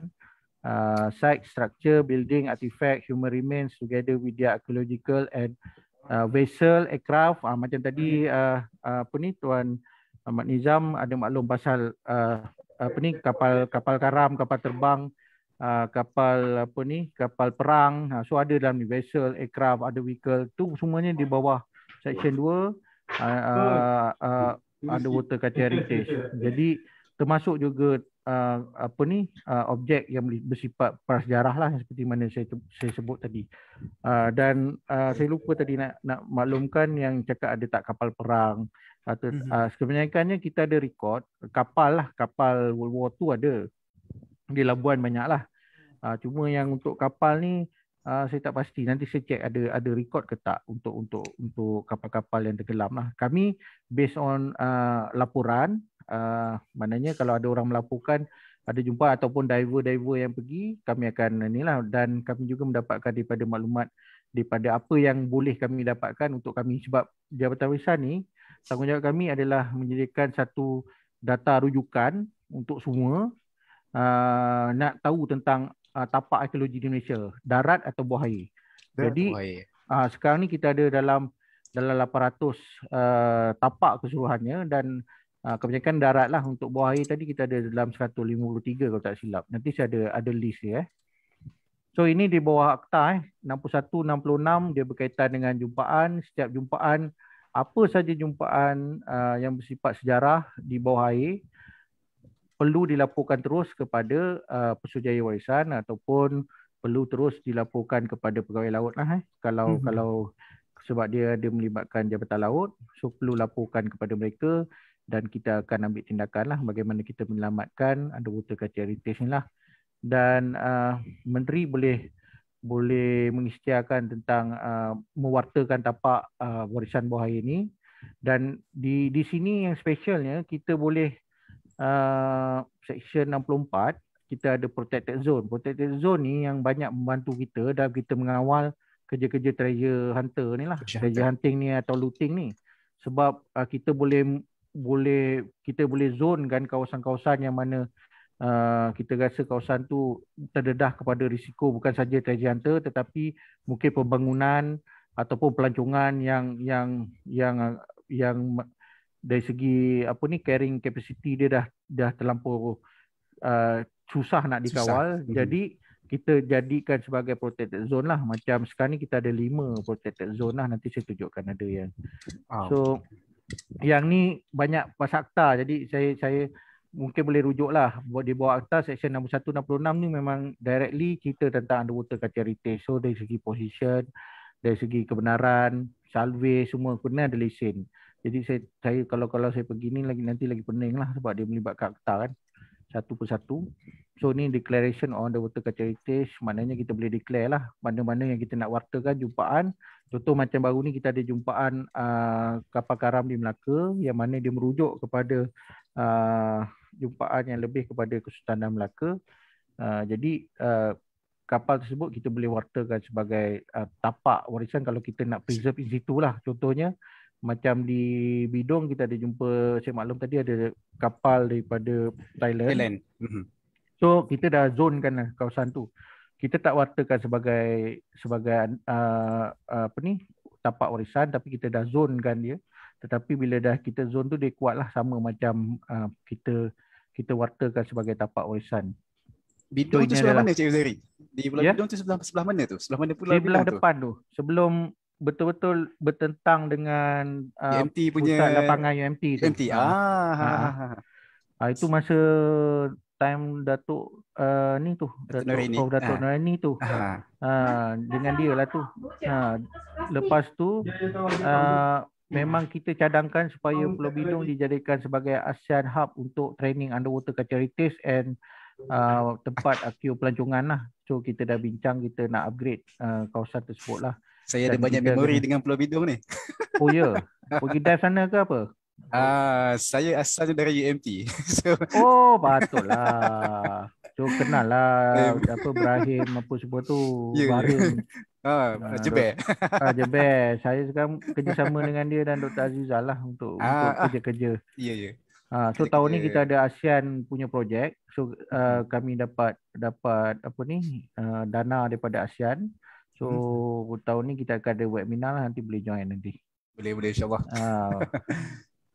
So ini adalah uh, provision under National uh, Heritage Act lah. Uh, saya tak kalau saya nak cerita sesuatu ni memang ni lah uh, dari segi ownership apa semua ni saya ingat uh, yang ni adalah salah satu yang penting lah section 67 ni bagaimana kita declare satu tapak tu sebagai national heritage lah so ada ada sembilan kriteria uh, berkaitan dengan perwataan untuk satu tapak tu Uh, terutama biasanya kita uh, yang kita pentingkan adalah dari segi sejarah dia lah dan kaitan sejarah Malaysia sendiri. Uh, lagi, lagi satu dari segi uh, estetik karakteristik, uh, karakteristik scientific uh, technical innovation social and culture association so banyaklah education uh, yang mana ia berkaitan yang mana kita boleh angkat sebagai uh, uh, warisan kebangsaan eh kalau kalau warisan biasanya uh, Pesujaya yang angkat. So dia ada dua kategori. Uh, warisan kebangsaan adalah di bawah menteri. So menteri sekarang ni adalah uh, apa ni lah. Uh, Datuk Seri Nancy Sukri lah. Nancy Sukri. Uh. Mm-hmm. So ini adalah yang saya sebut tadi. Section 64 Protected Zone. Uh, di Labuan kita dah wartakan sebab sini memang very heavy looting lah sini. Banyak kes ni. Diorang cari copper di kapal-kapal apa ni USS World War, Salute. kapal World War II, Ah, eh, World War II, American Rag. Ah, memang memang ada isu lah. So kita dah wartakan kawasan ni sebagai zona lindungi. So di Hmm. bawah kawalan FMM lah. So setiap kita warta ni kita akan hantar surat untuk mereka monitor lah FMM ataupun uh, uh, eh, Jabatan Laut dan Kerajaan Negeri lah jika ada apa-apa yang aktiviti yang meragukan di kawasan-kawasan REC ni mereka boleh tahan lah. Kita akan charge di bawah ada akta warisan kebangsaan 2005 yang mana uh, tidak kurang 5 tahun atau 50 ribu lah uh, denda. Biasanya daripada uh, pesalah-pesalah laku ni, adakah Ah. orang lokal kita ataupun orang luar Cik Zari? Uh, campur. Campur. Campur. Okey, okey, okey. Itulah dia uh, Jack Sparrow ni dia ada dua lah, international dengan uh, local. Ah, okey, so international biasanya international ni banyak duit. So kadang-kadang guna local ni untuk dapatkan Kadang, uh, sebab bila kita melibatkan kerja-kerja pencarian ni kos tinggi.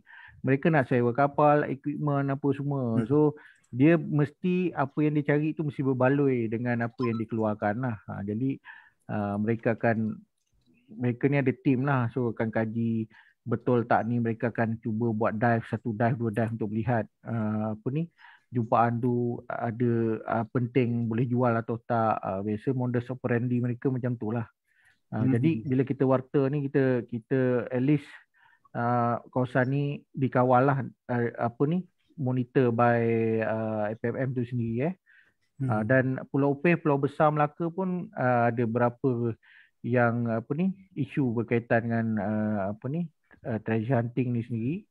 Dan termasuk dengan pembangunan lah. Kalau kalau kita tengok pulau di Melaka ni banyak pembangunan. So banyak dia akan buat reclaim land lah. Dia akan tambah tanah. Ya. lepas tu dengan pengambilan pasir. So dia akan mengganggu integriti kawasan ni lah. Bila kita Mhm. tengok pasir bila ganggu so ada kapal-kapal situ nanti akan merosakkan lah. Bila kita tengok kapal kayu mereka guna apa dredger tu kan so Mhm. sudut-sudut hancur semua. Ha, kadang-kadang guna grabbing tu ha, kadang-kadang hancur. Jadi kita kalau boleh kita elakkan uh, untuk kerja-kerja pasir menggunakan pasir ataupun tambakan kita memang memang tidak benarkan lah di kawasan ni kecuali dengan uh, kalau dibenarkan dengan syarat-syarat paling ketat lah uh, biasanya kita cuba elakkan kalau nak korek pasir di luar tak apa kalau di dalam kita, kita tak benarkan lah kecuali Oh. kalau dia kalau ada syarat-syarat kalau ada kepentingan-kepentingan tertentu tu kita kena mereka kena buat heritage impact assessment di kawasan tersebut. Ah ni Tanjung Tuan, Tanjung Tuan pun banyak rek kat sini. Walaupun kawasan ni air pusing tetapi mereka boleh turun selambanya. Ah kalau mereka nak cari ah, diver-diver ni boleh turun kat air pusing ni ah, apa ni? Duduk 2 3 jam cari artifact pun boleh. Kat sini banyak kapal lah di kawasan Tanjung Tuan. Di Tioman Island ni kita ada kawasan tapak uh, World War II lah uh, submarine daripada Belanda. So baru ni kita kerjasama dengan Belanda untuk melihat submarine tu lah tapi ada ada isu jugalah. Belanda pun bising Nak- juga pada kita nak lah claim? sebab Nak claim juga eh? ha, dia dia nak tengok je sebab itu kira apa ni uh, memorial lah war mem- Memorial. memorial. Jadi uh, dia nak uh, sebab ada yang mati di apa tu Ah, lah yang see. gugur di di di kapal Di kapal kapal. selam mereka so orang nak tengok rupa-rupanya kapal tu pun dah kena kena godam dah dah Salvage habis dah. dah dah dah ha. so itu yang mereka hantar apa ni komplain pada kita lah yang mana kita tak melihat uh, apa ni kapal World War tu lah so sebenarnya kita ni monitor macam saya cakap lah saya di sini uh, bendanya di, di Dia luar sana kita kerjanya di sana. Dia Dan, kerjanya di sana. Ah dan kita pun mengharapkan bantuan daripada agensi lain untuk bantu kita mereka pun ada kekangan-kekangan sendiri lah. Cuma uh, kalau da, kalau kalau ada kebetulan mereka lalu dan ada uh, mereka buat kerja-kerja tu memang akan mereka tahan lah. So itu yang kita maklum pada tu. So yang ni uh, jap eh. Uh, Okey ni bidong. Ha. Uh, so bidong tu depan ni je. Ah, Nanti boleh lah pergi dive. Cik Saifui. Ah, saya memang dah selalu dive dalam bidang. Dah dah, ah, dah dah ambil artifact, dah ambil artifact tak? Belum, belum. Saya kami lebih kepada nak cuci apa beach clean up macam tu je Cik Zairi. Oh, di Ah, bidung belum lagi lah. Di, Belum di lagi. tapak side tu lah. Nanti Ah, belum boleh lah. Jumpa Jebel nanti. Boleh dive kat sini nanti. Ha, minta lah satu souvenir untuk simpan. yang yang pecah-pecah kan. So sebab ini kita yang tahu kita history Ha. kita hist- ah, yang kita tahu history Pulau Bidung ni memang daripada pendatang Vietnam Yalah semua Vietnam memang betul. banyak. Ha. Saya pun baru minggu lepas pun ada staff arkeologi lah sebab kita ada meeting untuk kita punya ASEAN Underwater Culture Heritage webinar lah. Hmm. uh, untuk untuk program tu nanti. So uh, memang kita akan buat uh, program dan kita jadikan dia sebagai tapak akio pelancongan pertama pelancongan. lah uh, di di kawasan Bidong ni di mana uh, semua boleh dive di sini dengan syarat-syarat tertentu Mhm. yang mana uh, perlu ada guide lah untuk kita tengok underwater culture heritage ni lah yang kita cadangkan untuk untuk preserve in situ lah dari segi dia punya structure lah. Cuma artifact kita tak sukar untuk kita tinggalkan sebab kawasan tu ada air, arus apa semua mungkin uh, betul, Cik melibatkan uh, dia akan akan melibatkan uh, pasir itu akan menenggelamkan artifak-artifak yang ada lah. Jadi kalau boleh kita cuba salvage and then ada yang pecah-pecahan tu kita tinggal sebagai tapak pelajaran uh, untuk uh, training center untuk Training ASEAN dan juga untuk tapak pelancongan lah. So pelbagai lah nanti dari segi apa ni aspek uh, uh, apa ni pendidikan, pelancongan dan kebudayaan di Pulau Bidong lah. Uh, termasuk dengan dengan apa ni kapal-kapal Vietnam yang ada kat situ lah. Ah, Cik Zairi, ada soalan Ya. daripada Encik Abdullah kita. Oh dah ada. Cik lah, Ah, ah, okey, Cik lah, lah. Boleh ambil je lah. Ha. Ya, Assalamualaikum. Cik Waalaikumsalam. Ya ya. Pertama sekali saya mohon maaf lah kerana apa ni kebetulan tadi pagi ada mesyuarat pengurusan terti, uh, ni JMG berkenaan dengan uh, kes uh, jerai. Jadi terpas, sepatutnya habis pukul Oh. 10 tapi biasalah isu ini isu bes, isu besar kan. Mhm. Drag-drag. so terima kasih banyak lah. Cuma saya uh, ada satu soalan lah buat masa ni. Uh, uh, Okey, sebagaimana yang Cik Rozairi sebut tadi dari segi pewartaan uh, apa ni uh, kawasan uh, dekat offshore lah especially underwater culture heritage protected zone ni Mhm. so dia diwartakan berdasarkan kepada akta warisan lah sebagaimana yang Hmm, telah betul. dimaklumkan tadi Mhm. cuma isu dia saya nak dapat penjelasan sikit sekarang ni kita ada ada kawasan di di, di berada dalam perairan negeri lah sebagai contoh dalam tiga batu nautika ataupun 5 km kan macam di Pulau Hmm. Bidong yang banyak-banyak tempat tadi tu memang tak ada isu lah Mhm. sekiranya kawasan uh, artifak ataupun kawasan yang nak diwartakan ni berada dalam perairan EEZ maksudnya le- lima batu nautika ke ke 200 batu nautika so macam mana tu boleh mungkin boleh perjelaskan sikit tak perkara ni Okey, kalau dari segi ATA kita sampai 12 batu nautika lah territorial water. So selepas tu tu pasal kalau kita tengok kita warta tu kosong sampai 12 batu nautika yang lebih tu kita tak dapat nak warta lah sebab di luar bidang kuasa akta Jabatan Warisan sendiri lah. Jadi biasanya uh, kita akan rujuk kepada MKN lah sebab itu di bawah bidang kuasa MKN. So untuk uh, pewartaan saya rasa uh, uh, zoning ni saya ingat tak ada di bawah MKN lah tetapi kami uh, biasanya apa-apa isu yang berkaitan jumpaan ataupun kapal karam biasanya kami akan akan maklumkan kepada MKN sendiri tentang adanya artifak-artifak ataupun adanya kapal-kapal, bukti kapal yang terdapat di situ. Dan satu lagi sebenarnya kami ada di dalam grup uh, yang ditubuhkan uh, oleh National Pusat Hidrografi Nasional. So di situ uh, ada satu grup yang yang telah uh, yang telah dilantik datang kuasa uh, objek bawah air. Uh, so jangan kuasa objek bawah air ni uh, akan bersidang kalau saya dua tahun atau tiga tahun uh, apa ni eh apa ni tiga kali setahun atau dua kali uh, setahun yang mana mereka buat carta kan uh, nautical chart tu so bila mereka buat carta tu so mereka akan masukkan kami punya site-site yang kami dah identify sebagai objek lah objek bawah air yang mana benda ni kita boleh monitor lah maknanya Navy ni monitor untuk tapak-tapak tersebut so dalam tu Uh, saya tak pasti geologi ada. Uh, apa ni JMG ada. Ada Tapi memang kalau, saya uh, saya ada? masa di ketua di, di Merina itu memang kita dijemput setiap kali mesyuarat lah. Ah, ahli itulah. JMG ahli kepada ah. uh, jatuh kuasa objek di bawah air tu. So kita guna pakai macam tu lah uh, tuan sebabnya uh, kalau ikut ATA ni tak tak cukup uh, tak cukup apa ni jarak tu. Jadi kita kita gunakan perbincangan melalui uh, Pusat Hidrografi Nasional MKN dan uh, apa-apa isu yang berbangkit uh, biasanya akan sampai ke jawatan lah. Tetapi Jadi, dari segi zoning memang kita tak ada lah. Hmm. Uh, cuma, saya macam ni ni Cik Zari saya uh. saya saya tertarik bukan macam ni bila saya uh, hmm. di JMG kita ada buat kajian terperinci di uh, di One Phantom Bank ah oh, uh, One Phantom Bank. Bank dekat Matas Depa tu dia memang hmm dari segi uh, dari segi maksudnya uh, dari segi scientific value historical value memang penting uh, satu-satunya penting uh, pasir yang masih uh, kekal di perairan Selat Melaka di mana uh, dia ni uh, wujud since last glacier maximum 21,000 tahun oh. yang lalu dan sehingga hmm. sekarang uh, masih stable hmm. dan sebagainya lagi jadi hasil pada kajian tu saya mencadangkan supaya beting tu diwartakan.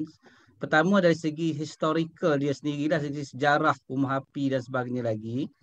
Yang kedua adalah dari segi scientific value kat situ. Maksudnya inilah satu-satu penting yang akan boleh digunakan oleh sebab kat situ dia bukan saja sumber pasir tapi sumber perikanan dan sebagainya lagi. Jadi dia ni merupakan uh, kita kata live uh, apa ni uh, ataupun kajian uh, tapak kajian yang perlu disimpan untuk generasi akan datang untuk membuat kajian. Jadi isu dia bila kita nak wartakan, nak gazetkan di bawah uh, akta warisan yang sebagaimana tadi lah. Sebab dia melebihi 12 batu nautika.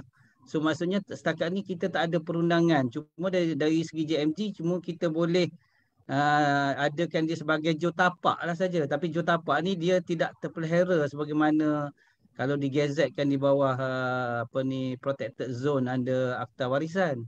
So this uh, saya ingat uh, mungkin perkara ni uh, saya, saya, saya rasa macam ni lah maksudnya untuk masa depan saya rasa mungkin jawatan warisan pun akan mengkaji kot dari segi 12 batu netika ni untuk kita extend sampai ke EEZ dan sebagainya lagi lah saya rasa memang banyak features-features di selat, uh, di perairan kita selama ada di Selat Melaka ataupun di Laut Cina Selatan yang kita boleh uh, simpan ataupun kita boleh uh, untuk untuk untuk untuk tujuan kajian dan juga untuk tujuan apa nama ni lah pada masa depan lah. Uh, itu itu pandangan bukanlah sedikit perkongsian daripada saya lah ni Cik Rozairi. Okey. Uh, betul. Memang Jabatan Warisan sebenarnya kalau tak silap saya ada beberapa kali ke sana lah untuk terutama tengok rumah api lama tu untuk wartakan dan juga macam uh, Cik Lahri cakap berkaitan dengan dari segi saintifik lah. Uh, memang perlulah untuk wartakan kawasan-kawasan yang bersejarah ni. Cuma di luar bidang kuasa akta lah pula kan. So uh, saya ingat benda ni kita boleh angkat di peringkat tertinggi lah. Kalau kalau kalau isu-isu ni berkaitan uh, tersebut banyaklah terutama yeah. baru ni ada daripada Wisma Putra pun ada datang uh, jumpa saya untuk mewartakan beting Patinggi Ali.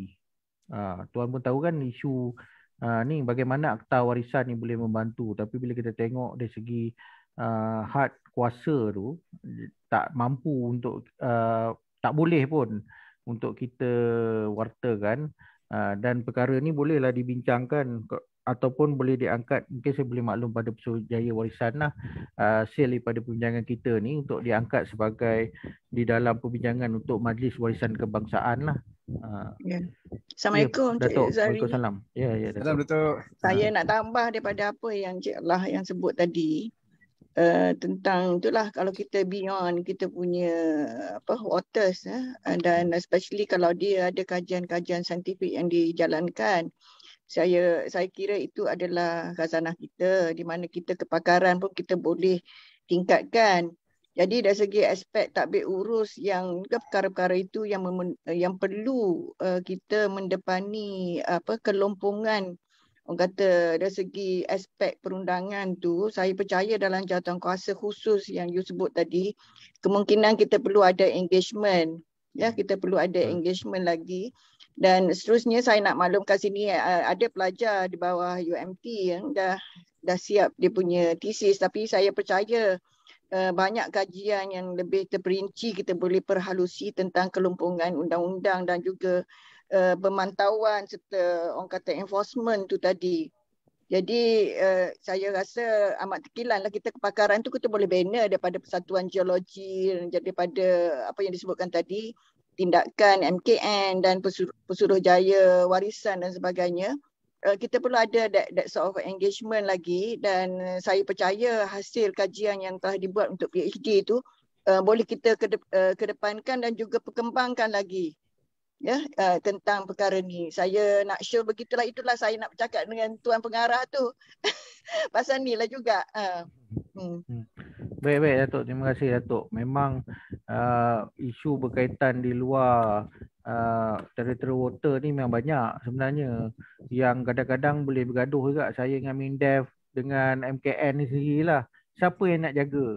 Ni warisan, warisan lah patut jaga. Sedangkan bila saya pergi jumpa PUU, uh, pergi undang-undang, oh kita bawa dua belah batu nitika ni bukan bidang kuasa, you tak payah nak sibuk. Dia ada juga dia punya uh, PUU sendiri yang boleh berfikir. Uh. Jadi banyak kekangan.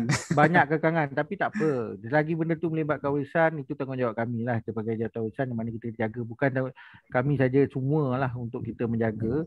Terutama uh, sebenarnya uh, kita ada majlis warisan kebangsaan yang diketuai uh, oleh pakar-pakar daripada semua aspek lah dan melibatkan juga pegawai-pegawai tertinggi daripada kementerian dan juga ketua pengarah ketua, ketua pengarah uh, di agensi-agensi yang berkaitan dengan warisan. So uh, setiap uh, uh, adanya mesyuarat biasanya akan diminta untuk uh, bangkitkan isu-isu berkaitan ni nanti uh, uh, dah kesempatan ni nanti mungkin uh, saya akan cuba angkat lah sebenarnya kita cuba pindah uh, kita nak buat pindaan akta sebenarnya. Ada perkara-perkara yang akta tak boleh cover. Dan seperti macam uh, Cik Lah tadi maklum yang mana uh, bila teror-teror water lepas tu tak boleh. Sebenarnya saya dah angkat sampai ke zon maritim Malaysia. So zon maritim Malaysia ni kosong sampai 200 uh, batu nautika.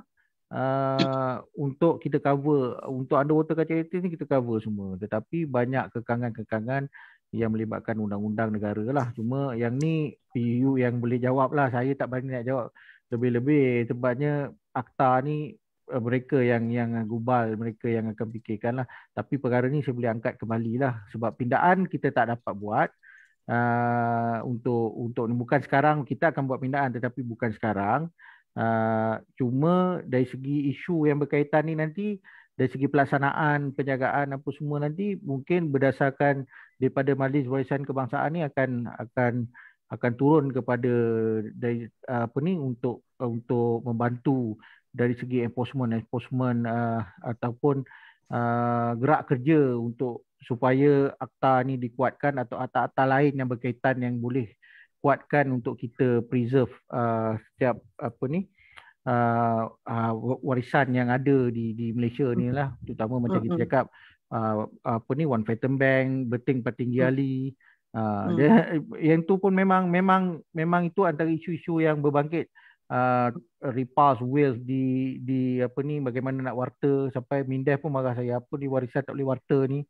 Orang duk masuk-masuk ah. Jadi saya memang memang kita tak itulah kita cuba kekangan-kekangan kita yang mana uh, saya harap benda ni akan akan akan berubah lah supaya warisan kita ni dipelihara dijaga uh, apa ni dan lestari dan dilestarikan lah supaya benda ni tak hilang lah mungkin dari segi kita yang bawah macam saya di bawah ni kita boleh suarakan pasal polisi-polisi yang atas tu perlu perlu main peranan jugalah untuk mana uh, pasal input dah ada. Cuma dari segi uh, apa ni dari segi penggunaan uh, untuk apa ni kita bawa kepada pindaan ataupun apa saja yang yang mana boleh menyelamatkan warisan kita lah. Ya, itu yang boleh saya, saya maklumkan. Uh, usaha ada tetapi uh, dia tak pergi yang dia tak pergi ke lebih lanjut supaya benda tu di ni dia dia pergi sekejap itu dia silent. Nah uh, itulah yang yang kadang-kadang menyedihkan Momentum kita yang di dia mati bawah. tengah jalan, Ah, dia yang di peringkat kan. kita yang di di di bawahan ni pun kadang-kadang sedih lah bila benda-benda macam ni tidak dapat diselesaikan tapi isunya yang uh, yang akan timbul adalah di, di, di dibawa kepada kita jugalah tetapi uh, antara sama sama jabatan sama misi yang penting kita nak yang terbaik lah cara yang terbaik selagi boleh kita kawal kita kawal lah uh, sebab banyak-banyak isu lagi-lagi itu isu macam uh, kalau One Pattern Bank tu mungkin isu uh, apa ni isu lokal itu isu dalaman tetapi yang melibatkan isu international macam beting petinggi ali semua uh, yang yang juga akan melibatkan warisan bagaimana kita nak uh, menjaga kita punya kawasan so itu yang Ya. yang boleh saya maklumkan lah Datuk eh Ya, ya. Terima kasih. Okey, saya teruskan. Okey, yang ni Boleh, adalah boleh, Syazari, teruskan. Ah, ah, ini takut nanti lebih nanti dah ni. so uh, tak apa. Uh, ni adalah uh, inventory kami lah eh. Untuk rack, total rack site semua ada 153 lah. So kalau kita tengok ni ada paling banyak Melaka 31, Johor 24. So yang lain-lain tu 45 45 tetapi yang ni yang kita tahu yang ada koordinat lah.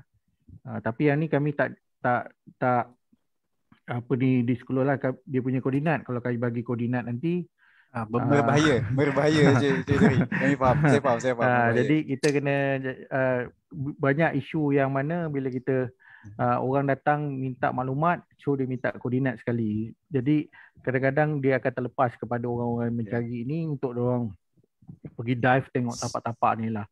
Dan kita jaga kita punya apa ni tapak-tapak ni supaya tidak terganggu dan terpelihara eh.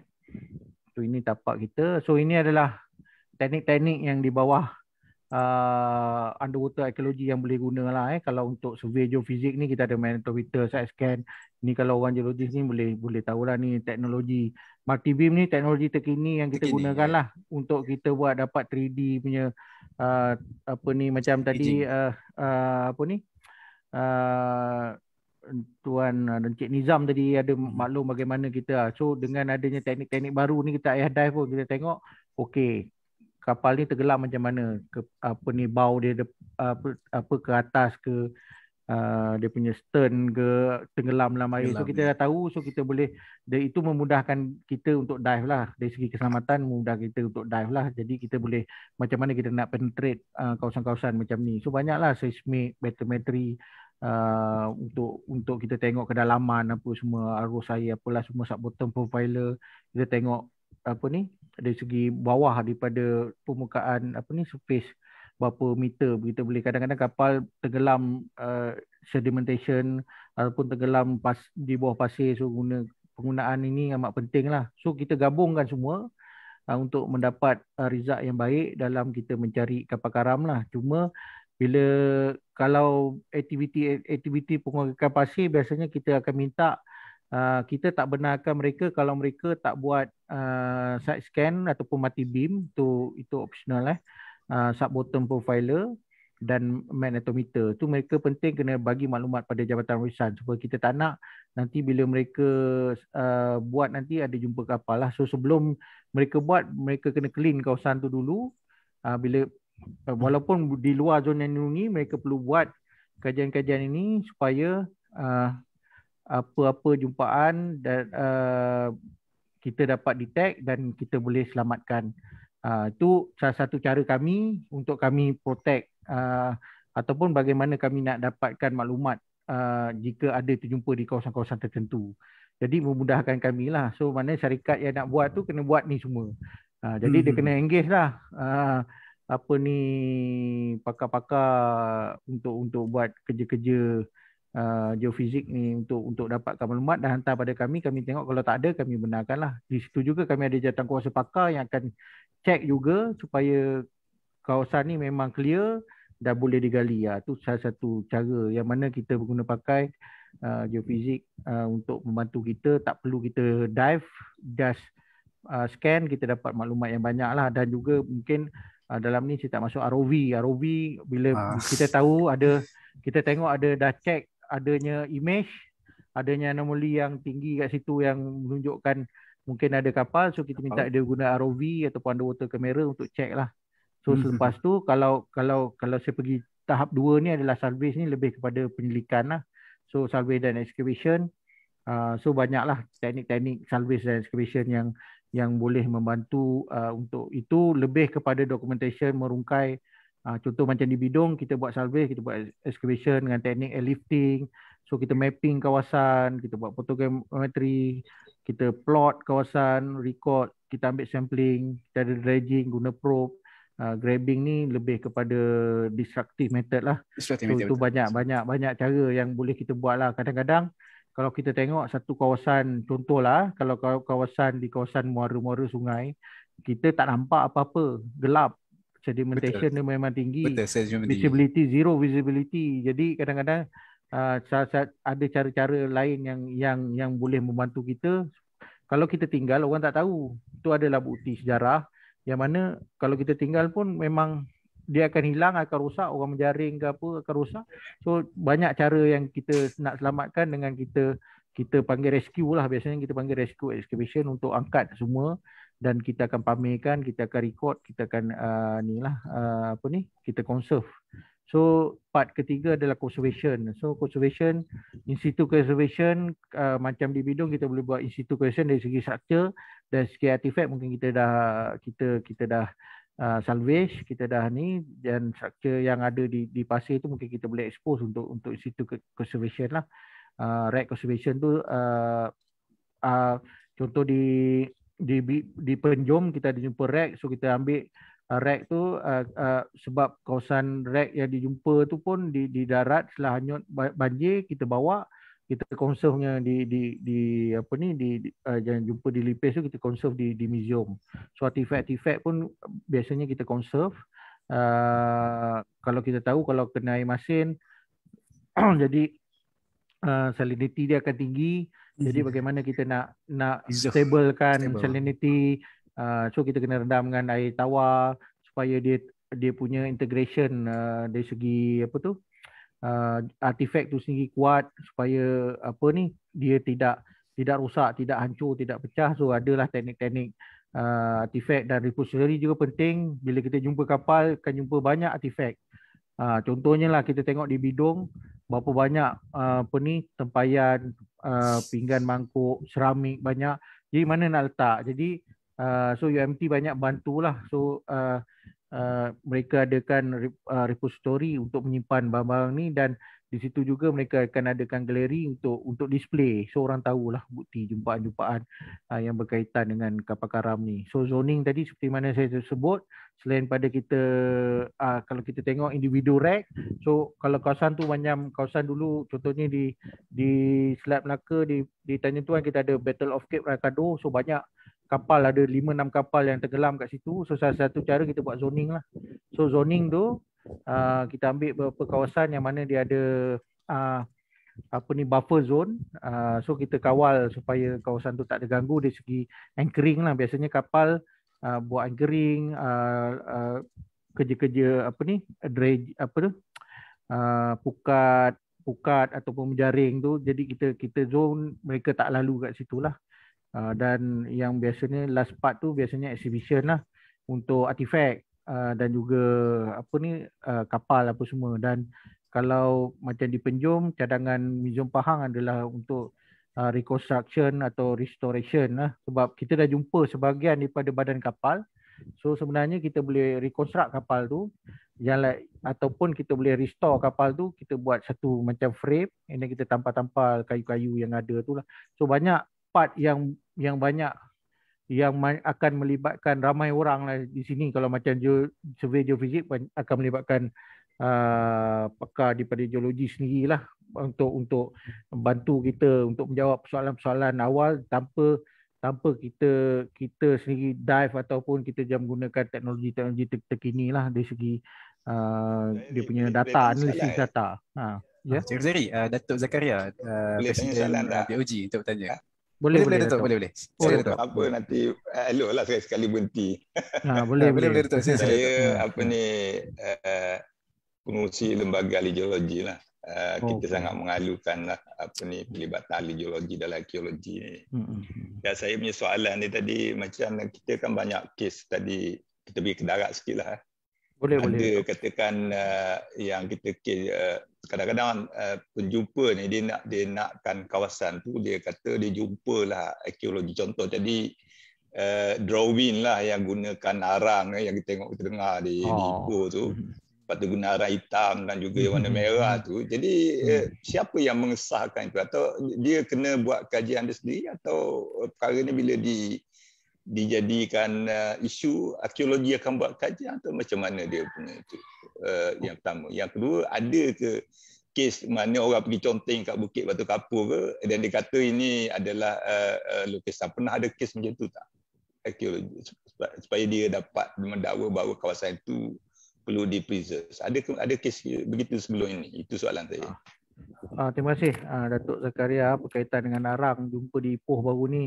Ah, memang dia kalau ada isu berkaitan dengan warisan ya, terutama ah, jumpaan-jumpaan terkini ni biasanya dia akan dia akan sampailah kepada kami uh, yeah. dan juga pakar-pakar arkeologi di bawah Jabatan Warisan sendirilah sebab yeah. kita ada pakar daripada universiti dan mereka pun mulalah tag saya macam mana ni macam mana ni so kalau ikutkan akta caretaker untuk uh, uh, warisan di Malaysia ni adalah Pesuruhjaya Warisan so uh, biasanya apa saja isu berkaitan dengan warisan uh, perlu uh, perlu dapatkan uh, maklumat sahih lah fakta yang betul daripada Pesuruhjaya Warisan sendiri. Sebab Pesuruhjaya Warisan pun akan dibantu oleh pakar-pakar yang ada lah untuk menjawab persoalan-persoalan uh, isu berkaitan dengan warisan lah. Dan kalau parlimen pun biasanya uh, isu-isu pun uh, Jabatan Warisan akan akan akan bantulah untuk menjawab uh, berdasarkan maklumat yang kita perolehi uh, uh, yang kita dapati ataupun uh,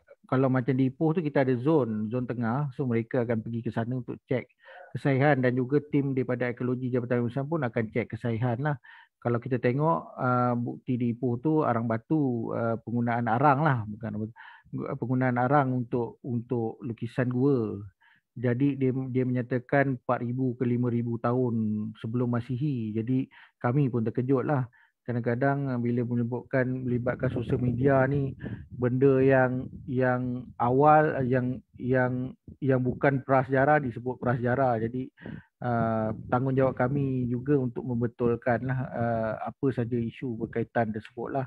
Kalau kita tengok arang kebanyakannya dia lebih kepada uh, zaman sejarah lah. Kalau kita tengok uh, kita tahu di di kawasan sana adanya masyarakat orang asli yang kalau bukti-bukti tak awal, rekod-rekod tak awal yang kita ada masyarakat orang asli juga menggunakan gua sebagai salah satu kawasan uh, apa ni penginapan ataupun kawasan uh, apa ni penginapan sementara untuk mereka pergi ke satu ke tempat satu tempat. So bukti-bukti rekod uh, contohnya di Lenggong kita ada gua Badak, gua Dayak tu banyak bukti yang sama di Ipoh yang mana lukisan gua menggunakan arang ni memang banyak lah. So kita dah dah kaji, kita buat relative uh, study, relative dating dia di zaman sejarah lah. Mungkin awal 18 18 ke atas lah 18, 18 uh, tahun uh, kurun ke maknanya 1800 ke atas lah.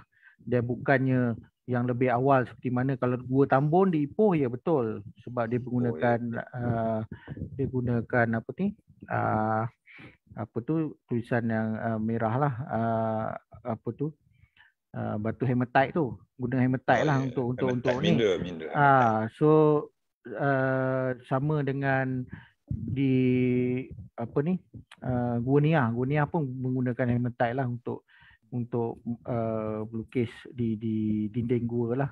So kalau kita cakap berkaitan dengan arang ni mungkin kalau dicakap prasejarah tu mungkin mungkin salah lah. Tapi dia dah lewat lah. Sebab bila kita tengok orang di gua orang ingat anggap tu zaman prasejarah kadang uh, perlu dibetulkan lah. Uh, tetapi kalau yang menggunakan mineral apa ni hematite tadi mungkin mungkin lebih uh, lebih lewat lah kalau kita tengok gua tambun tu uh, tu dah zaman uh, neolitik uh, so tu bukti-bukti yang yang disebut tu dah dibuat kajian daripada universiti lah dan kes conteng ni memang ada dia memang orang kita ni memang gatal lah tu Oh ada memang ada conteng. Memang ada. Kalau di Lenggong tu kami terpaksa pagar.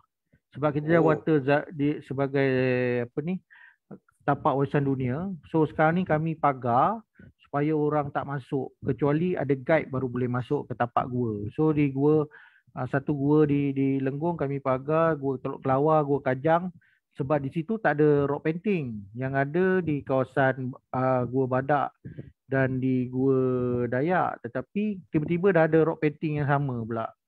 Maknanya gravity ni memang ada. Uh, Dan gua Tambun pun ada. Uh, biasanya biasalah Ali was here. Tu tu biasalah love ni lah apa semua kan.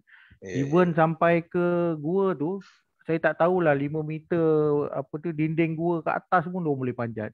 Hebat betul untuk tulis nama mereka sendirilah. Hebat orang Malaysia ni. so Habis dia ah, punya quality painting tu boleh nampak berbeza atau memang Berbeza. similar? Ah, Berbeza? berbeza, berbeza. Oh, okay. Kita tahu biasanya kalau yang yang lama tu dia dah kabur-kabur, dah tertutup dengan apa tu lumut ke apa. Kalau yang baru ni kita tengok jelas nampak dan kita tahulah yang mana prasejarah, yang mana sejarah uh, rock painting sejarah ataupun yang yang berkaitan dengan sejarah dengan yang baru lah. Mungkinlah ya. yang yang gravity ni kita tahulah biasanya uh, yang yang akan tupuan untuk mereka conteng tu biasanya di kawasan yang yang eye level lah maknanya eye level dia berdiri ah dia akan conteng lah Ah, Ya, ya, ya. and then kalau lagi satu kalau nak conteng yang tinggi-tinggi tu yang jenis kita tengok ada laluan untuk panjat so laluan Oh, panjat okey. tu tengok yang memudahkan mereka panjat ah mereka akan conteng ah macam tu lah bila kita Eh, kita satu lagi boleh- soalan ah. saya begini, okeylah yang tu kita dapat penjelasan. Yang kedua eh, balik ke laut lah.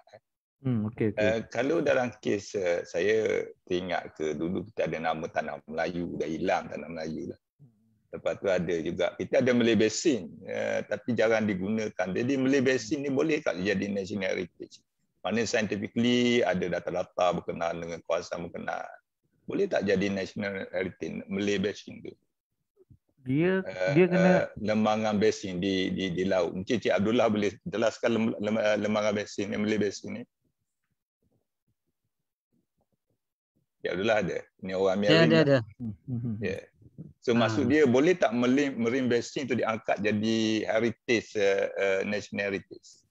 Pasal Ah, ada word kalau- Malay dekat situ. Silakan. Ah, mungkin saya beri ni dulu lah pada pandangan saya lah dari segi Ya. sudut uh, saintifik. Memang kita mempunyai maklumat yang begitu banyak di di Malay Basin tu sendiri.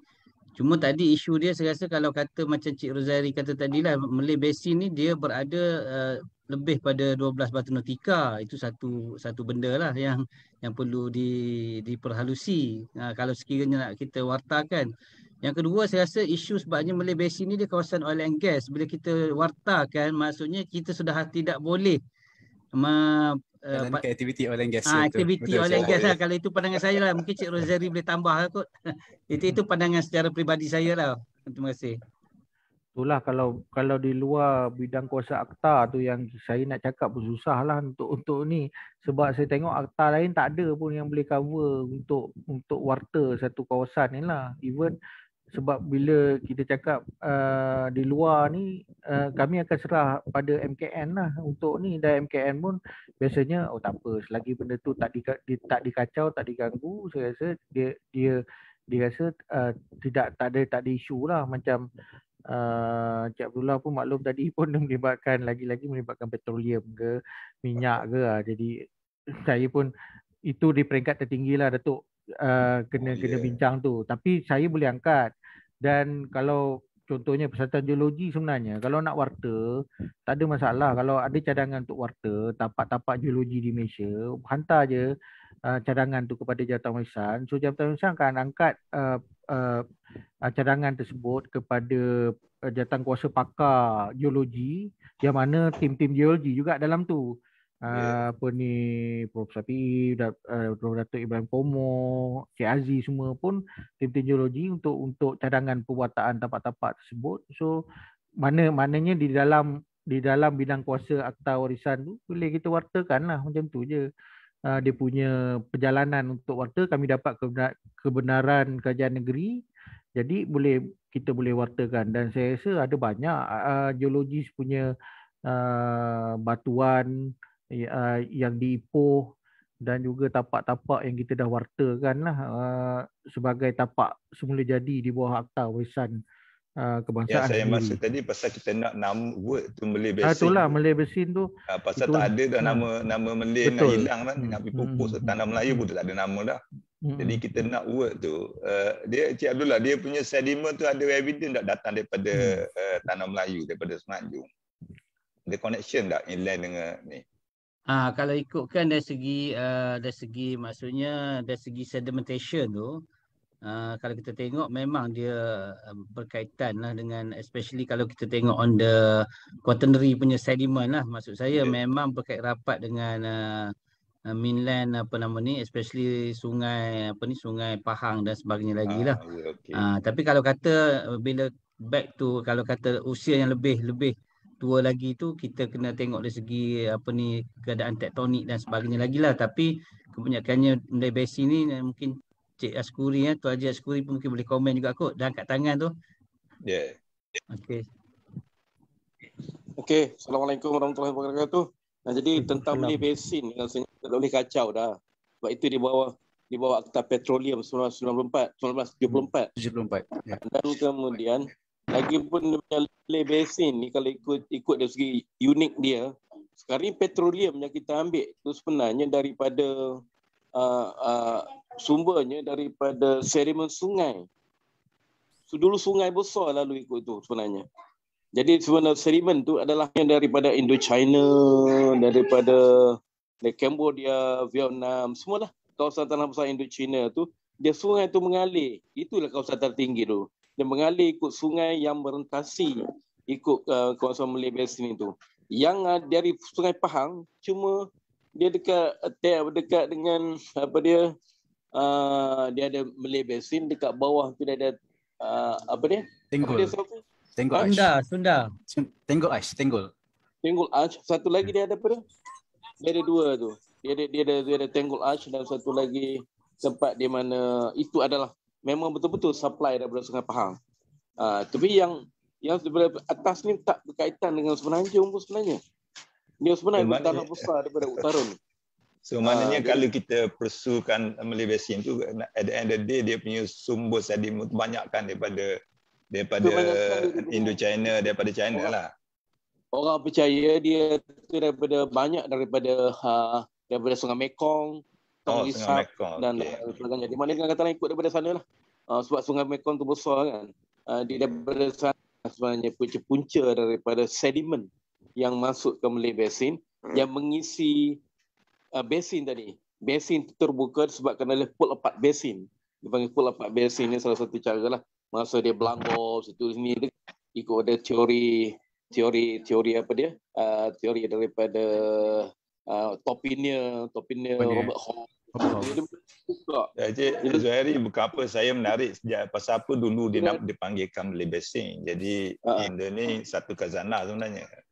Betul. Kalau betul, nama betul. tu sudah hilang. Even pihak scientific dia marine pun dia tak guna guna standard line lah. Uh, South China Sea tapi Malay Basin tak digunakan dalam scientific. Dia tenggelam dia punya nama Malay Basin tu. Itu maksud saya. Jadi betul, macam mana betul. nak supaya nama-nama berkaitan dengan uh, uh, Melayu lah I'm sure berkaitan dengan kemelayuan that's why dulu digunakan perkataan Malay Basin tapi orang yang moden ni dia lupakan benda tu hmm. Hmm. Uh, ini macam mana kita nak timbulkan benda-benda uh, perkataan-perkataan berkenaan apa-apa pun yang berkaitan dengan menggunakan perkataan Melayu tu itu maksud saya tapi dari segi macam mana cara dia okey tak perlu watarkan tapi adalah inisiatif hmm.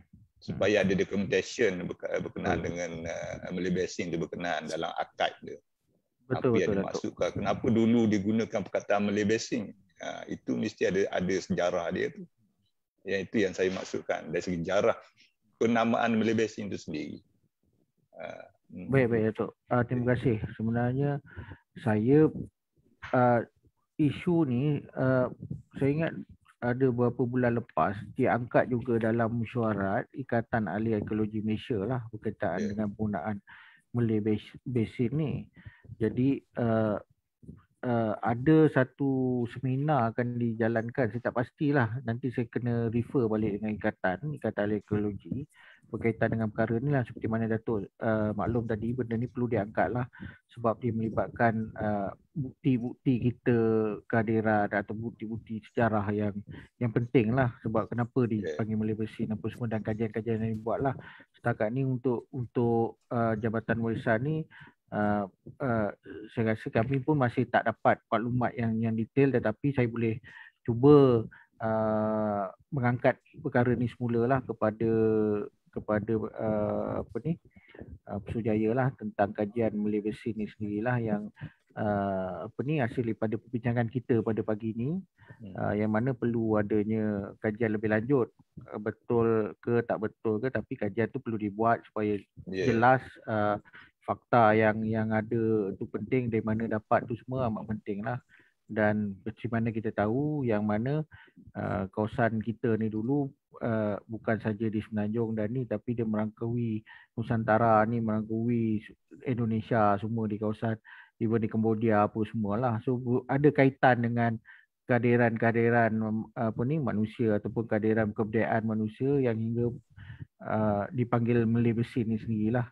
Hmm. Uh, jadi yang ni jadi data-data ni nanti mungkin boleh saya angkat lah Mm, tanggungjawab warisan jugalah untuk kami tahu tentang kajian-kajian ni. Dan siapa saja yang yang lebih ada maklumat tu serah aja pada Jabatan Warisan. So uh, perkara-perkara ni boleh kita angkat uh, satu sebagai rujukan lah masa kami uh, untuk menjadikan uh, setiap warisan di Malaysia ni sebagai uh, uh, hub rujukan uh, di jabatan kami ni sendirilah even uh, terutama di segi uh, intangible and tangible culture heritage lah Uh, so elok juga kalau Datuk highlightkan benda ni supaya benda Saya ni ingat yang ni boleh kita kalau untuk wakil ahli geologi yang ni Hmm. uh, apa ni Cik Askuri dengan Cik Abdullah Sulaiman Askuri. tu boleh Oh, mewakili okey. Ah, komuniti geologi lah membagi maklumat Hmm. pasal beliau Hmm. lebih arif berkenaan dengan Ah, marine. baguslah. Ah, lebih elok. Kita ada uh, pakar rujuk tentang fakta dari segi saintifik je lah. Ah, cantik Uh, cantik. boleh boleh uh, Ah. kalau ada pembincangan tu boleh bawa berdua ni. Uh, Ah. Kalau perlu yang lain lagi Cik Abdullah boleh boleh tambah lah. Uh, itu melalui pas- lah persatuan juga mu- mungkin boleh maklumat-maklumat tu disampaikan kepada Pesujaya Warisan sendirilah. Yeah. So perkara-perkara ni perlu diwar-warkan juga uh, dan kajian-kajian tu pun saya Ya, sokong sangatlah kajian ni perlu di, di, di, dibangkitkan jugalah sebab Yeah. banyak cerita yang tersembunyi.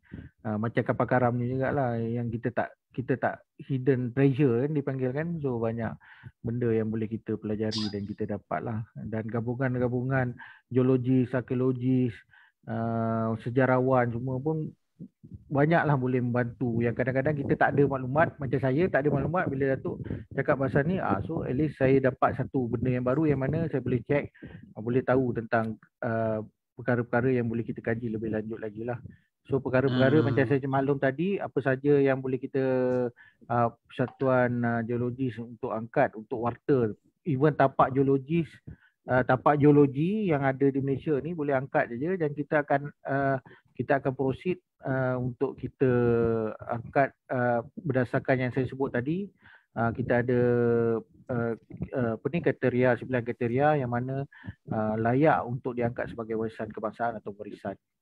Uh, Cik Rosairi, saya ya. nak tambah sikit lah sebabnya saya Alright. macam ni. Uh, kalau kita lihat, kalau macam di JMG sendiri pun uh, kita ada ketua pengarah JMG Hmm. merupakan ahli kepada jawatankuasa yang warisan Betul. kebangsaan Majlis tu. Warisan Jadi Kebangsaan. sebenarnya Hmm. kalau untuk tapak-tapak geologi di kawasan daratan ni sebenarnya tak Hmm. jadi isu lah sebab memang Hmm. kita selalulah angkat ke jawatankuasa tersebut. Hmm. Cuma saya sekarang ni uh, saya nampak benda yang saya nak ketengahkan adalah penlibatan uh, ahli geologi macam kita kata kita kata geoarkeologi lah kan. Hmm, Di, betul. di darat ni memang well established lah sebagaimana Hmm, yang dibawa yang di, di diasaskan oleh Profesor Datuk Mokhtar Saidin dan juga tim dia. Hmm. Jadi saya nampak way, uh, way forward yang yang kita perlu lihat bersama dengan Jawatan Warisan sekarang adalah peranan geoarkeologi marine. Macam saya Hmm. sebab lama di geologi marine 25 tahun saya Hmm. buat berada di unit geologi marine.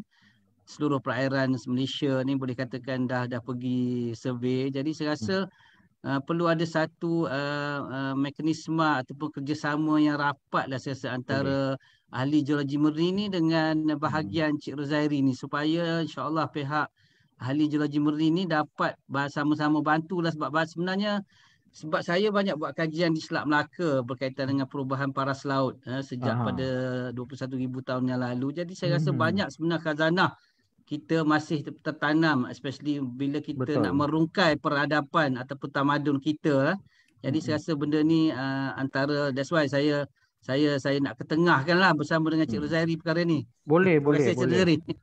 Memang saya syukur sangat kalau dapat uh, apa ni maklumat-maklumat yang boleh menjawab uh, persoalan-persoalan berkaitan dengan peradaban, sejarah dan kawasan-kawasan yang mana kita rasa uh, yang boleh uh, ada bukti fizikal lah eh. Kalau macam kita cakap ekologi ni bukan setakat uh, teori tetapi malah uh, kita nak tengok bukti fizikal tu yang penting lah. Uh, uh, uh, apa ni kawasan-kawasan yang mana adanya struktur tertanam ke ada bangunan di bawah laut ke. Setakat ni saya ingat uh, sukar untuk kita identify lah. Kalau dengan bantuan bantuan geologis ni mungkin boleh dapat kita mencari uh, contohlah eh macam saya maklumkan di sini adanya kota yang tenggelam. Uh, kod ada geologi ada maklumat tentang kota yang tenggelam so boleh bantu kita. Even uh, sebelum ni kita pernah buat kajian uh, kita pernah buat excavation di kawasan tersebut. Tetapi uh, memang kita ada jumpa batu tetapi batu tu lebih pada natural formation lah bukannya. Uh, tapi artifact banyak di situ. Dan kita tahu sini kita tahu Chini sekarang ni uh, kawasan yang very sensitif uh, dan ada usaha daripada Kerajaan Pahang untuk mengembalikan uh, sejarah Chini itu sendiri dan akan melibatkan Jabatan Warisan uh, juga. Yang mana kita nak nak mencari bukti-bukti sejarah-sejarah yang ada di sini. Yang mana artifak kita ada jumpa tetapi terlampau sikit tetapi di segi struktur binaan kita tak jumpa lah. Dan usaha ekskavasi yang kita buat pun bila bila mengatakan kawasan tersebut ada adanya struktur uh, dibina ataupun kota yang dibina dia just batu biasa sajalah. Tu satu. Dan juga di belah Johor uh, ada juga yang dimaklumkan oleh beberapa apa ni pencari uh, apa ni pengkaji sejarah di sana. Ada juga uh, apa ni bukti kota Lingyu, kota Purba Lingyu. So itu pun dah di highlight juga sekarang ni walaupun dah sebenarnya kita dah pernah buat excavation kita tak jumpa pun dan beberapa selaman dah dibuat di di apa ni di dam di lempangan di Lingyu tetapi just uh, semuanya natural formation lah bukannya man-made formation. So uh, dan ada juga maklumat-maklumat terkini yang menunjukkan uh, apa ni batu-batu yang seolah diletak apa semualah. So sebenarnya pelibatan geologis tu memang ada lah sebab kami itu pun bawa geologis untuk mengesahkan. Sebab orang cakap tu kota, kota, kota. Jadi kami pun nak kesah ni natural ke apa kan. Sebab kami tengok bukan kota pun tapi dengan peranan geologis ni dari segi pandangan mata kasar oh ni bukan ni batu ni sebenarnya memang type dia macam ni dia berlapis-lapis ha. jadi banyak membantu kami untuk menjawab uh, persoalan-persoalan yang mana mereka kata benda ni betul sebenarnya tak betul. Dia ada fakta dengan auta so dia kadang banyak yang auta je. Jadi kadang kita nak kena nak counter, counter benda macam ni pun perlu pelibatan semualah. Tu bila melibatkan yang darat dan dan dan juga air lah. So banyak bantuan-bantuan yang yang saya rasa Cik Abdullah memang berapa puluh tahun yang ni mungkin ada ada maklumat-maklumat ataupun ada uh, bukti-bukti yang boleh uh, apa ni bukti-bukti tentang uh, sejarah manusia di satu kawasan tu nanti boleh share dengan, dengan kami. So kita pergi survey sama-sama, kita duduk kalau mana dalam air kita boleh dive, kita tengok macam mana adakah benda tu betul atau tidak. Sebabnya nak menjawab soalan ni berdasarkan bukti yang ada kita kena buat cara macam tu lah. Dan Allah, mungkin Allah.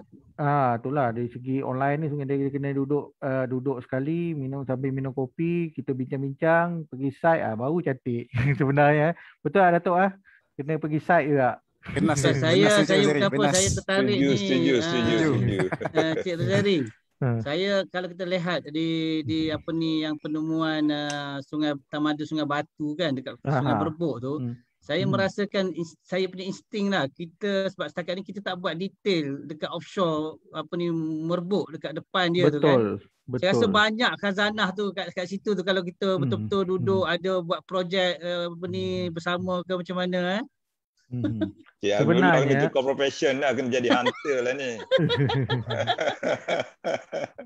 Sebenarnya kita dah dah berbincang hari tu dengan Pusat Hidrografi Nasional untuk kami buat scan kat kawasan Sungai Merbuk tu, Sungai Sungai Muda kan.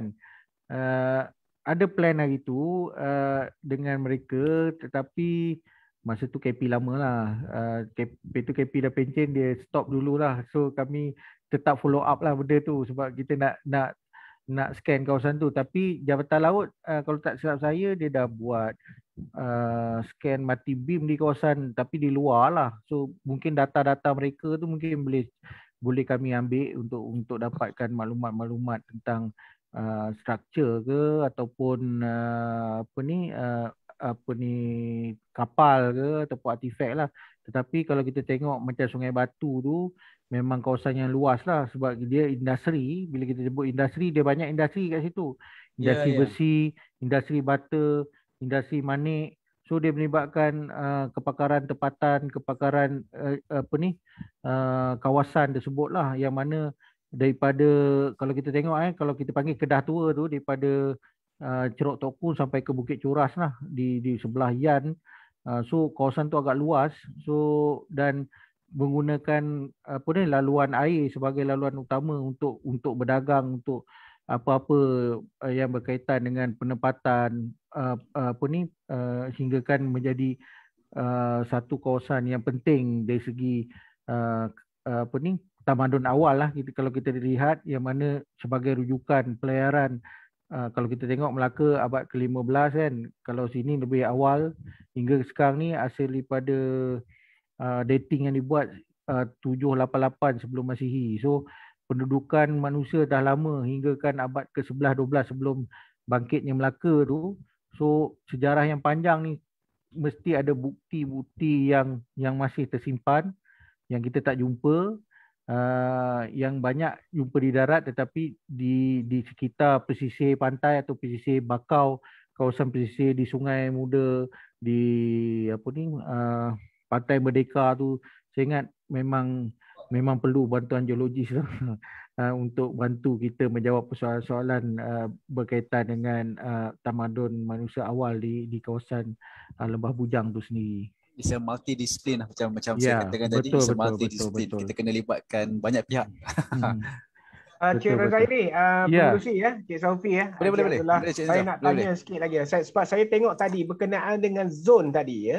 Mhm. Uh, berkenaan dengan zonation you buat tadi ni kan. Hmm, Eh. Is is hmm. based on zone eh. Tapi uh, saya uh, ini just nak to share lah. Ini ialah Hmm. ini cerita-cerita lama lagi lah ni Cik Hmm. Rozairi ya. Orang Boleh, boleh. tarik, tarik saya ni kan eh. Ah, Uh, boleh, bukannya boleh. saya Indiana Jones tapi saya Hmm. masih lagi geologist eh. Mhm. So saya ni orang Tumpat Kelantan ya.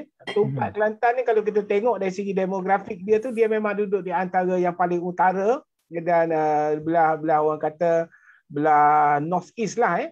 Mhm. Dan dia merupakan dulu uh, zaman-zaman dulu merupakan suatu pelabuhan uh, international juga sebenarnya di Tumpat tu eh. Cumanya kalau kita tengok di Tumpat masa saya dulu uh, kecil-kecil dulu sebab kalau kita tengok dari sudut geologi pun kita tahu ini Cik Lah pun tahulah ya berkenaan dengan uh, apa tu uh, paleo punya sea level ya. Hmm. uh, zaman-zaman dulu tumpat tu saya kita suspected is all the uh, alluvial plain ya. Kemungkinan besar dia tu merupakan suatu lautan ya.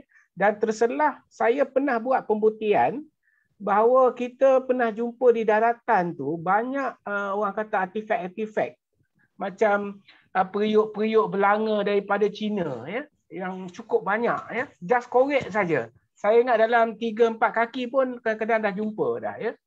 So okey dari berbalik kepada zone tu tadi uh, Putri Cirozairi did you define that sort of marine is purely based on uh, keadaan sekarang? Ataupun kalau ada terjumpa uh, uh, unsur-unsur yang menyatakan bahawa kawasan persisir ataupun kawasan daratan sekarang merupakan kawasan lautan ancient dulu ya.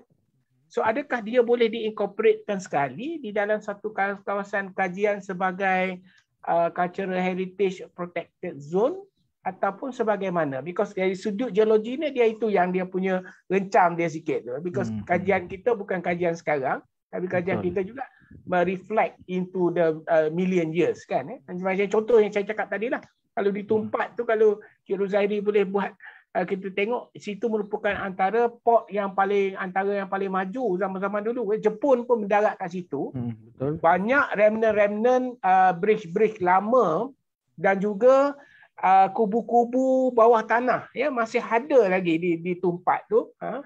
Uh, sebabnya dia merupakan satu uh, pelabuhan yang besar. Sekarang ni because of their position very high lah. Sebab tu dia dah jadi dalam jadi dia jadi macam lautan dan uh, dan pelbagai. So berbalik kepada zoning tu uh, sebab dia melibatkan juga guna tanah dan kerajaan negeri kan. Jadi hmm, mungkin cik boleh uh, komen. Okey, kalau macam di laut ni kalau kita zone sebab di bawah akta kita section 64 memang memang uh, uh, clearly stated lah berkaitan dengan zoning ni. Uh, sebenarnya lebih kepada aspek pemeliharaan dan pemeliharaan tapak tu sendirilah. Dan kita mengambil kira bukan saja uh, jumpaan yang yang lewat lah maknanya adanya kes kecurian tapi kita juga mengambil kira tentang uh, sejarah awal lah. Mana paling awal sejarah apa? Contohnya Sungai Batu. Uh, kita kita wartakan sebagai tapak warisan kebangsaan. Uh, jadi uh, berdasarkan apa? So berdasarkan kepada petarihan dia berdasarkan bukti jumpaan tu sampai stres sampai ke mana. Dan zone yang kita macam di di di ni kita boleh extend ataupun biasanya kita extend kita takkan kurangkan lah kalau kalau dapat. So kita akan extend kalau ada jumpaan-jumpaan terkini. Even uh, kalau akta warisan ni dia akan melibatkan warisan semula jadi. Jadi bila warisan semula jadi kita boleh warta kalau tapak yang yang gabungan lah. Gabungan warisan semula jadi dengan warisan uh, warisan apa ni arkeologi. So contoh macam Lenggong, Lenggong kan kita ada jumpaan uh, material impact. So kita wartakan material impact tu sebagai uh, dan juga arkeologi apa ni tapak arkeologi uh, di situ sebagai sebagai tapak warisan lah. Kalau di darat kita panggil tapak warisan lah kita wartakan sebagai tapak. Kita tak panggil zone tetapi tapak tu sendiri pun ada buffer zone. Uh, kalau di laut memang uh, di bawah akta sendiri seksi nombor memang protected zone zone yang dilindungi so laut dipanggil macam tu so dia beza lah ha, kalau macam di tumpat tadi dia akan jatuh kategori uh, tapak warisan kalau kalau kita tengok kawasan tu perlu dipelihara dan jumpaannya uh, menarik uh, bersifat kebangsaan uh, ataupun bersifat negeri lah eh. Uh, kalau kita tengok tumpat ni lebih kepada sejarah uh, bersifat kebangsaan kehadiran apa ni uh, uh, Japanese 1941 tu datang melalui situ so banyak saya tahu uh, banyak laporan uh, tentang jumpaan-jumpaan di tempat ni lah kawasan yang penting dari segi uh, artifak apa semua kan. So kawasan tu kita boleh wartakan cuma uh, uh, bila nak warta kita perlu dapat kejadian negeri lah. Biasanya kalau macam di Kelantan kajian negeri Kelantan so kita minta keizinan kalau dia dia rasakan uh, dia akan angkat di peringkat MMKN lah biasanya dan di, uh, dia bersetuju dia akan hantar pada kami dan uh, kami ter, akan siar dalam warta untuk wartakan tapak tersebut sebagai contohnya tapak pendaratan uh, Jepun di uh, Tumpat. Uh, so kita wartakan satu kawasan tu lah tapak tu. Maknanya merangkumi berapa lot tanah apa semua lah. Kalau ada owner kat situ biasanya kita akan minta keizinan owner lah uh, untuk untuk kita wartakan lah. So kita akan buat uh, dia akan bila kita warta dia ada conservation management plan. So conservation management plan yang akan membantu dari segi pemeliharaan di samping juga tidak mengganggu uh, tapak tersebut dan juga tidak mengganggu aktiviti-aktiviti dijalankan oleh oleh pemilik sendirilah. Kalau pemilik nak buat rumah kat situ, uh, cara macam mana rumah yang sesuai. Uh, jadi kena blend dengan historical event atau moment ataupun structure dekat situ sendiri. Uh, so uh, macam itulah kita punya apa ni uh, kita punya kerja di apa ni pewartaan untuk untuk setiap tapak warisan itu sendiri. Terima kasih. Terima kasih. Jelas. Alright. So uh, ini adalah sedikitlah tentang apa yang keperluan-keperluan untuk underwater. Sebenarnya banyak lagi slide ni. Uh, sampai pukul berapa ni? Saya saya pergi saya pergi cepatlah eh untuk untuk ni dia macam tadilah yang metodologi apa semualah uh, dari segi kajian awalan hingga ke diving, salvage, conservation hingga ke exhibition, site regular monitoring dan uh, apa apa saja yang kita buat tu kita kena ada uh, monitoring dan kita perlu dapat kita perlu sediakan maklumat-maklumat penting lah untuk orang ramai tahu kawasan-kawasan ni kawasan penting, kawasan sejarah dan tak lupa juga dengan enforcement lah. Enforcement lagi penting lah sebabnya macam tadi uh, apa ni kes-kes gravity di di gua-gua tu orang ingat itu adalah apa ni prasejarah pada uh, mereka yang datang tim-tim apa ni yang yang yang masuk gua Eh, ataupun orang luar yang suka menconteng tu. So salah satu caranya dengan kita buat kawalan lah dengan guide apa semualah. So kalau kalau nak tengok bagaimana pengawalan tu kita ada buat di Lenggong lah bagaimana kita monitor monitor tapak dan kita buat enforcement lah supaya orang orang tak tak semudahnya untuk merosakkan warisan yang yang ada. Ha, ini semua saya rasa saya nak cerita pun semua tahulah ni metode set scan ni ni yang digunakan oleh arkeologis uh, dengan dengan uh, bantuan pakar-pakar yang yang yang boleh handle untuk untuk kerja-kerja ni untuk menjawab uh, untuk mencari uh, biasanya untuk kerja-kerja survey lah survey awalan uh, untuk kerja-kerja arkeologi. So ini adalah teknik-teknik yang kita gunalah So bagi teknik lah yang kita gunakan kita ada suction ni, excavation. Ha, ini di Bidong eh, ni di Pulau Bidong. Pulau Bidong ni tengok cantik air dia. Ha. So kita buat banyak teknik lah untuk kita plot, ambil gambar satu-satu. So kalau nak buat kerja ni kena kena kena dive uh, kena kena ni lah di segi apa ni uh, kena kuang-kuang kalau dah kalau dive master tu okey lah untuk untuk dive tu. Yang kena eh, pengalaman lah kena ada pengalaman, pengalaman lah ha. Dia, kalau ikutkan di di Jabatan Warisan sendiri kita ada berapa orang lah? Kita ada 10 orang mm-hmm. uh, yang ada train lah training dengan UNESCO lah untuk underwater culture heritage untuk kerja-kerja di bawah air ni sendiri. So ini adalah yang terbaru lah. Yang ni terbaru uh, yang ni di bidong so yang ni di bidong lah. So kita dapat kita rekodkan ni semua daripada tim Jabatan Warisan lah Ah, dan ini Dr. Zainuddin daripada UMS. Dulu dia uh, apa ni dia buat PhD dengan USM so dia dah dapat doktor lah sekarang dia mengajar di ini dia banyak bantu kami lah uh, untuk untuk kerja-kerja underwater ni sendirilah dia salah seorang yang ada PhD dalam uh, underwater culture heritage. Uh, so dia sekarang mengajar untuk ni lah. So dia kalau kalau ikutkan dia kami akan libatkan dia lah dan jatah kuasa pakar underwater culture heritage uh, sama dengan uh, Bazli B. Doktor uh, Bazli B lah, Bazli B. Dia dia pensyarah di UMS. So yang ni terbaru jumpa di Penjom di Kuala Lipis. Kita panggil kapal Penjom lah. Uh, so yang ni adalah artifak Pulau Bidong yang mana kita nak buat galeri nanti untuk kita punya ASEAN workshop. So ini equipment lah, equipment yang biasa yang yang kita gunakan untuk ni set scan sonar, uh, SATA box semualah untuk kita check uh, kapal di bawah uh, uh, image-image kapal. Ini alat ni semua peninjau warisan ada ni. Oh, tak ada. Tak oh, ada. Okay, okay. Tak ada. So. Kalau ada pun tak ada siapa nak operate ni. Sebabnya orangnya ada 20 orang, darat air semua. Biasanya kita engage lah, engage kontraktor lah sebab macam macam kami dekat marine, dekat marine geology ni memang kita ha? ada semua alat ni. Okey lah, boleh kerjasama lah. Boleh lagi cantik tu. Sebab sekarang ni kita minta bantuan daripada universiti lah, UMT lah bantu kita. So UMT ada alat-alat ni dan mereka pun ada vessel mereka vessel, kan. Ha, research vessel. So minta tolong mereka lah. Kebanyakannya kami buat kerjasama dengan UMT lah. untuk untuk alat ni. Uh, kami tak ada alat tu. Beli pun uh, kalau kami beli pun dari segi maintenance, cost maintenance, semua. betul. Jadi Betul, kami lebih kepada kerjasama lah, collaboration. Uh, kalau alat kena apa ni, share je Ha. ni Cik Zari kita pakai Ha? share siapa ada alat tu kita share kita pergi kita Hmm. So ini contoh image-image yang ada lah. Yang ni, yang ni Hmm. contoh dia. Ha, ni Ya. image kapal lah ni. Ha, Ni so saya sonar dap- ni memang clear ni. Saya Ha, pun clear. kadang buat buat survey memang nampak juga ni shipwreck ni kalau kita buat survey pakai Hmm. scan sonar ni. Hmm, itulah kalau jumpa nanti beritahu saya. So kita boleh dive sama-sama kita tengok. Check betul kapal baru. Biasa Kalau ka, ka, saya- kami kalau Hmm. kata jumpa benda ni biasa kita akan hantar surat kepada Jabatan Laut dengan Jabatan Warisan lah maklum Ah. koordinat apa semua itu Hmm. memang di di JMG kita memang prosedur macam tu lah. Hmm, hmm, hmm. So tu yang penting tu. Uh, takut terlepas pada orang lain kan kalau tengok geng-geng treasure hunter tengok ni hu kalau saya Liur. post ni Terliur dia orang. eh. ha, hmm. Ada mulut ada ni.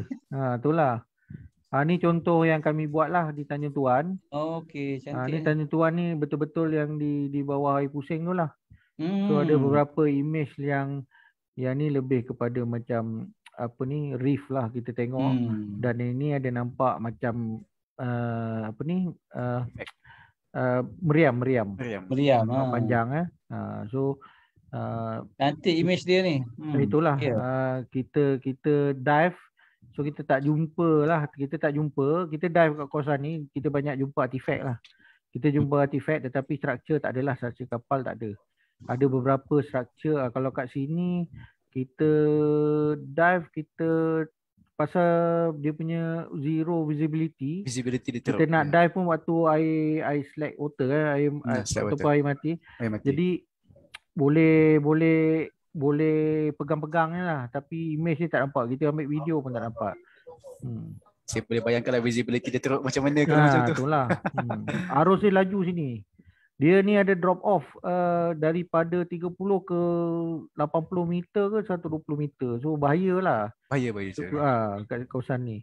So ini shipwreck yang ada lah. Yang ni dulu banyak Oh. kajian daripada luar negara, bantuan daripada luar negara lah. Uh, pada uh, 80-an lah uh, kajian dibuat sampai ke tahun uh, 2000 sebelum Jabatan Warisan ditubuhkan lah. Sing Tai, Long Kuan, Royal Nan Hai, Zuandir, Risdam, Nanyang, Desaru. Yang ni semua telah dibuat uh, excavation eh, salvage dan artifact ni semua ada di Museum Negara lah. Artifact-artifact ni semua. So kalau nak tengok Diana, Nassau, Risdam ni uh, ada di di uh, artifact tu masih ada lah di store di di Jabatan Museum Malaysia. Uh, ini yang saya sebut tadi Pontian boat yang letak awal lah third uh, visory pakai lash lug punya teknik uh, stitch plank so 3 ke 5 century AD lah. Uh, kayu kayu merawan uh, uh, yang dah kita detect. Jumpa kat laut kat dalam laut dia yang tadi eh. Yang ni dia Sini? jumpa di tebing sungai. Tepi sungai. Oh, ha, okey. Sungai Pontian. So ini yang yang tadilah uh, uh, artifact-artifact ni. Uh, ni uh, Long Kuan. So abad ke 15 lah kebanyakan dia jumpa uh, kebanyakannya uh, Cel- Celadon, secara lain Celadon ni daripada Thailand lah. So Kota Ware pun Thailand lah. Dia sama macam uh, lebih kurang macam bidong punya rack. So Royal Nan Hai 14. So ini Ming eh, Ming kalau 14. Hmm, sesar yang lain ni Thailand. Hmm. Kalau di kalau pergi ke bidong ah ni lah kebanyakan kita jumpa Singtai ni sama je. Yang terbaru. Yang ni semua di di museum lah. Uh, yang ni kalau pergi UMT di galeri di store di pusat repository mereka boleh tengok lah. Di Jabatan Warisan pun ada. Kita ada bawa simpan. Yang Nassau ni Belanda 1606, Cape Rakado Port Dickson. Yang ni yang ni pun dah dah di excavation. Ha, so meriam cantik lagi. Duit siling. So ni Risdam banyak jumpa tin ingot lah. Yang ni di Johor di Mesing. Tu pasal salah satu sebab kita ni sebab ada usaha masih lagi yang mencari kapal Risdam ni. So Diana Diana di Selat Melaka. So uh, yang ni artifact memang banyak. 18 ni dah dah pergi ke Ching. uh, memang banyak artifak yang ada. Kalau ikutkan store di uh, Jabatan Museum Malaysia tu tak muat lah. Saya tengok uh, pinggan mangkuk pelbagai blue and white ni dah boleh buat kenduri dah. Uh, Banyak ah. dah. Memang terlampau banyak. Uh, so boleh tengok lah kalau kalau berminat nak tengok kena pergi Jabatan Museum Negara lah. So Desaru, Desaru pun saya dah pergi site dia di site pun masih lagi ada artifak dan ada juga usaha-usaha treasure hunter nak dive kat situ. Uh, untuk apa ni sudu ni, sudu sop uh, Ching ni pun memang banyak lah masih ada lagi lah. Uh, kalau tengok ni over apa 70,000 artifact recover with over 25,000 spoons. So ada 25,000 spoon. Masih lagi ada di dalam laut tu lah. Uh, ni betul-betul di Desaru, betul-betul di, di kawasan Tanjung Balau tu. Hmm. So ini adalah uh, apa ni aktiviti conservation yang dibuat lah oleh uh, kalau dulu Jabatan Museum dan Antiquity lah. Uh, ni di Semarang di SSN uh, Pankras Semarang ni di kawasan uh, Pematang Semarang di Labuan kalau tak salah saya. Uh, yang ni sebenarnya uh, uh, uh, ni steamship eh dilaporkan kepada kami uh, di Pematang Semarang cuma uh, yang ni dah hilang. Yang ni memang dah di di di ni sebab sebab dia di luar di di di kawasan apa ni apa uh, 12 Batu Nautika.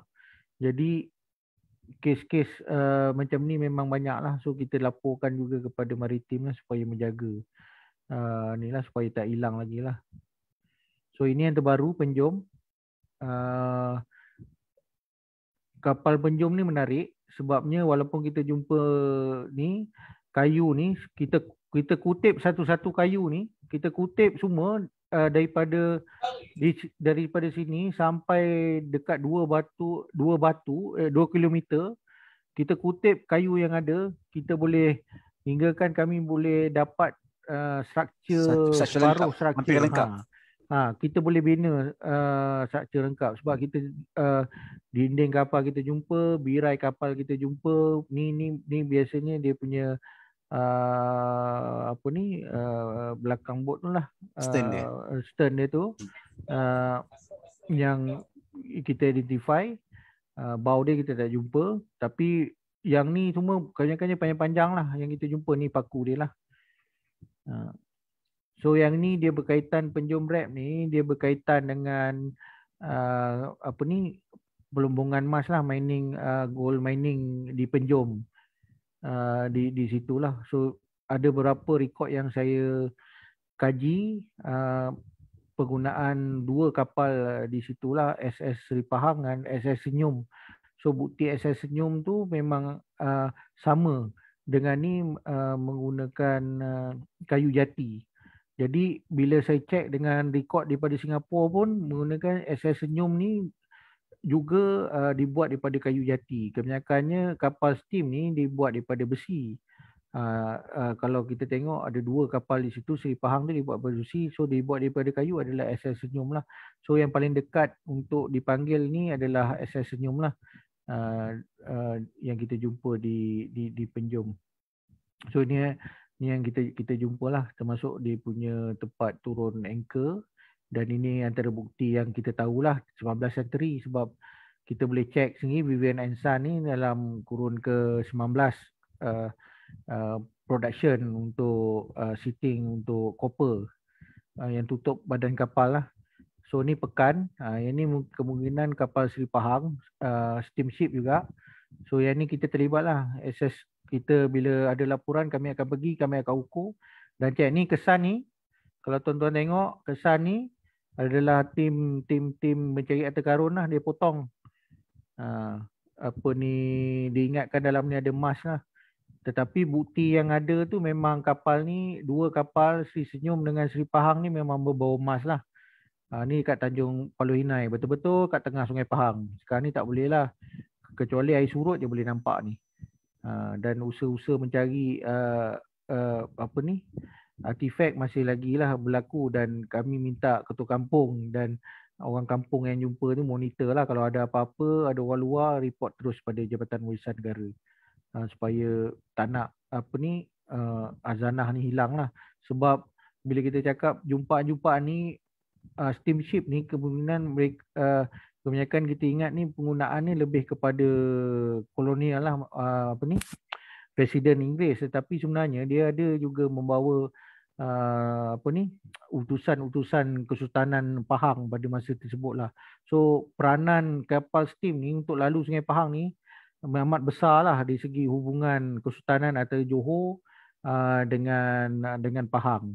Sebelum uh, laluan darat uh, apa ni uh, adalah di di di di di baik di ditambah baik lah maknanya daripada Kuala Kubu British uh, lalu boleh masuk hingga ke Kuala Lipis lah yang mana Lipis juga telah menjadi uh, ibu negeri Pahang uh, daripada saya lupa lah berapa lama lah lebih pada 200 tahun lah uh, sebelum pindah ke ke, uh, ke Kuantan. So ni kudat uh, ni di kudat di reef uh, Mansi Reef. Uh, so saya sampai ke Pulau Bangi sana betul-betul dekat Balabak Island tu. Balabak Island. Ha, Pulau Bangi tu kami dive dalam 23 ke 25 meter. Uh, ini isu dia bila ada orang kampung cakap jumpa mas. So kami pergilah ada kapal jumpa mas sebenarnya paku ni dibuat daripada copper kan. Yang ni sama je, mas metal ni sama dengan jumpaan di Penjum, dia punya paku.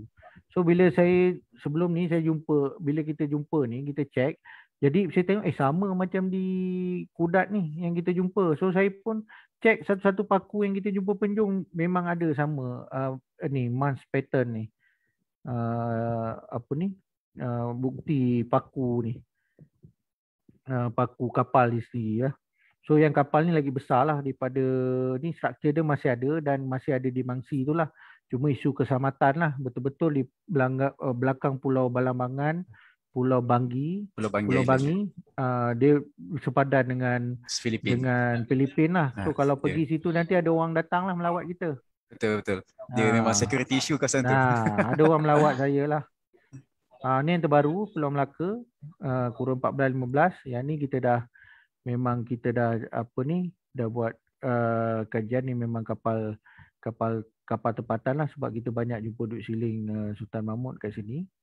Uh, dan penggunaan apa ni apa uh, kayu pun kita dah buat kajian macam tadi kita buat uh, kayu jati yang ni kayu merbau lah. So kayu-kayu kayu yang yang ada pun daripada kita dan jumpaan jumpaan tempatan tu yang penting lah. So sekarang ni kita stop untuk buat kajian sebabnya betul-betul uh, PKP sekarang ni. So bila ada kelonggaran nanti kita akan sambung balik ah duduk dalam ni kalau geng-geng geologis nak tengok apa tanah kat sini boleh ke? Uh, nak Oh, check. menarik, menarik tu Ah. Encik Zari. Jemputan yang menarik tu. Ah.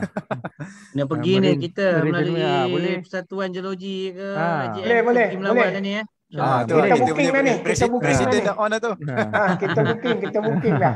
Ha, nanti start nanti boleh kita kita kita jemput. Sebab UMT tim UMT dah pergi ni. Tim UMT tu dah pergi kita bagi Rizal lah. satu. Ha ah. Dr. Rizal so dia pergi. So kalau tim geologi nak pergi boleh lah. Hmm, ni lah kami boleh. duduk berapa minggu duduk main lumpur ni. So ni dah expose lah. Ada lagi tak ada lagi kawasan yang kita tak expose lagi. Ja- Jauh ke daripada pantai ni ni Cik? Ni dulu pantai, ni dulu di belakang Pulau Melaka. Tapi dia dah dia dah tambak. So laporan daripada orang tambak tu bila dia tambak, dia macam dia tambak tanah uh, bila tekanan tanah tu jadi yang ni timbul. Hmm. Ha, tekanan okey. tambak tu timbul. Jadi uh, yang yang apa ni uh, pekerja yang yang yang tambak tu dia tolak lah kayu-kayu ni tu yang ada hancur sikit tapi bawah struktur tu masih masih cantik. Dalam kalau tengok daripada permukaan tu dalam satu meter setengah ke dua meter tu saya dah raba-raba bawah lumpur tu ada masih lagi cantik lah struktur masih uh, dia punya uh, apa tu pelihara lantai dia tu masih Ha, cantik lagi Cantik.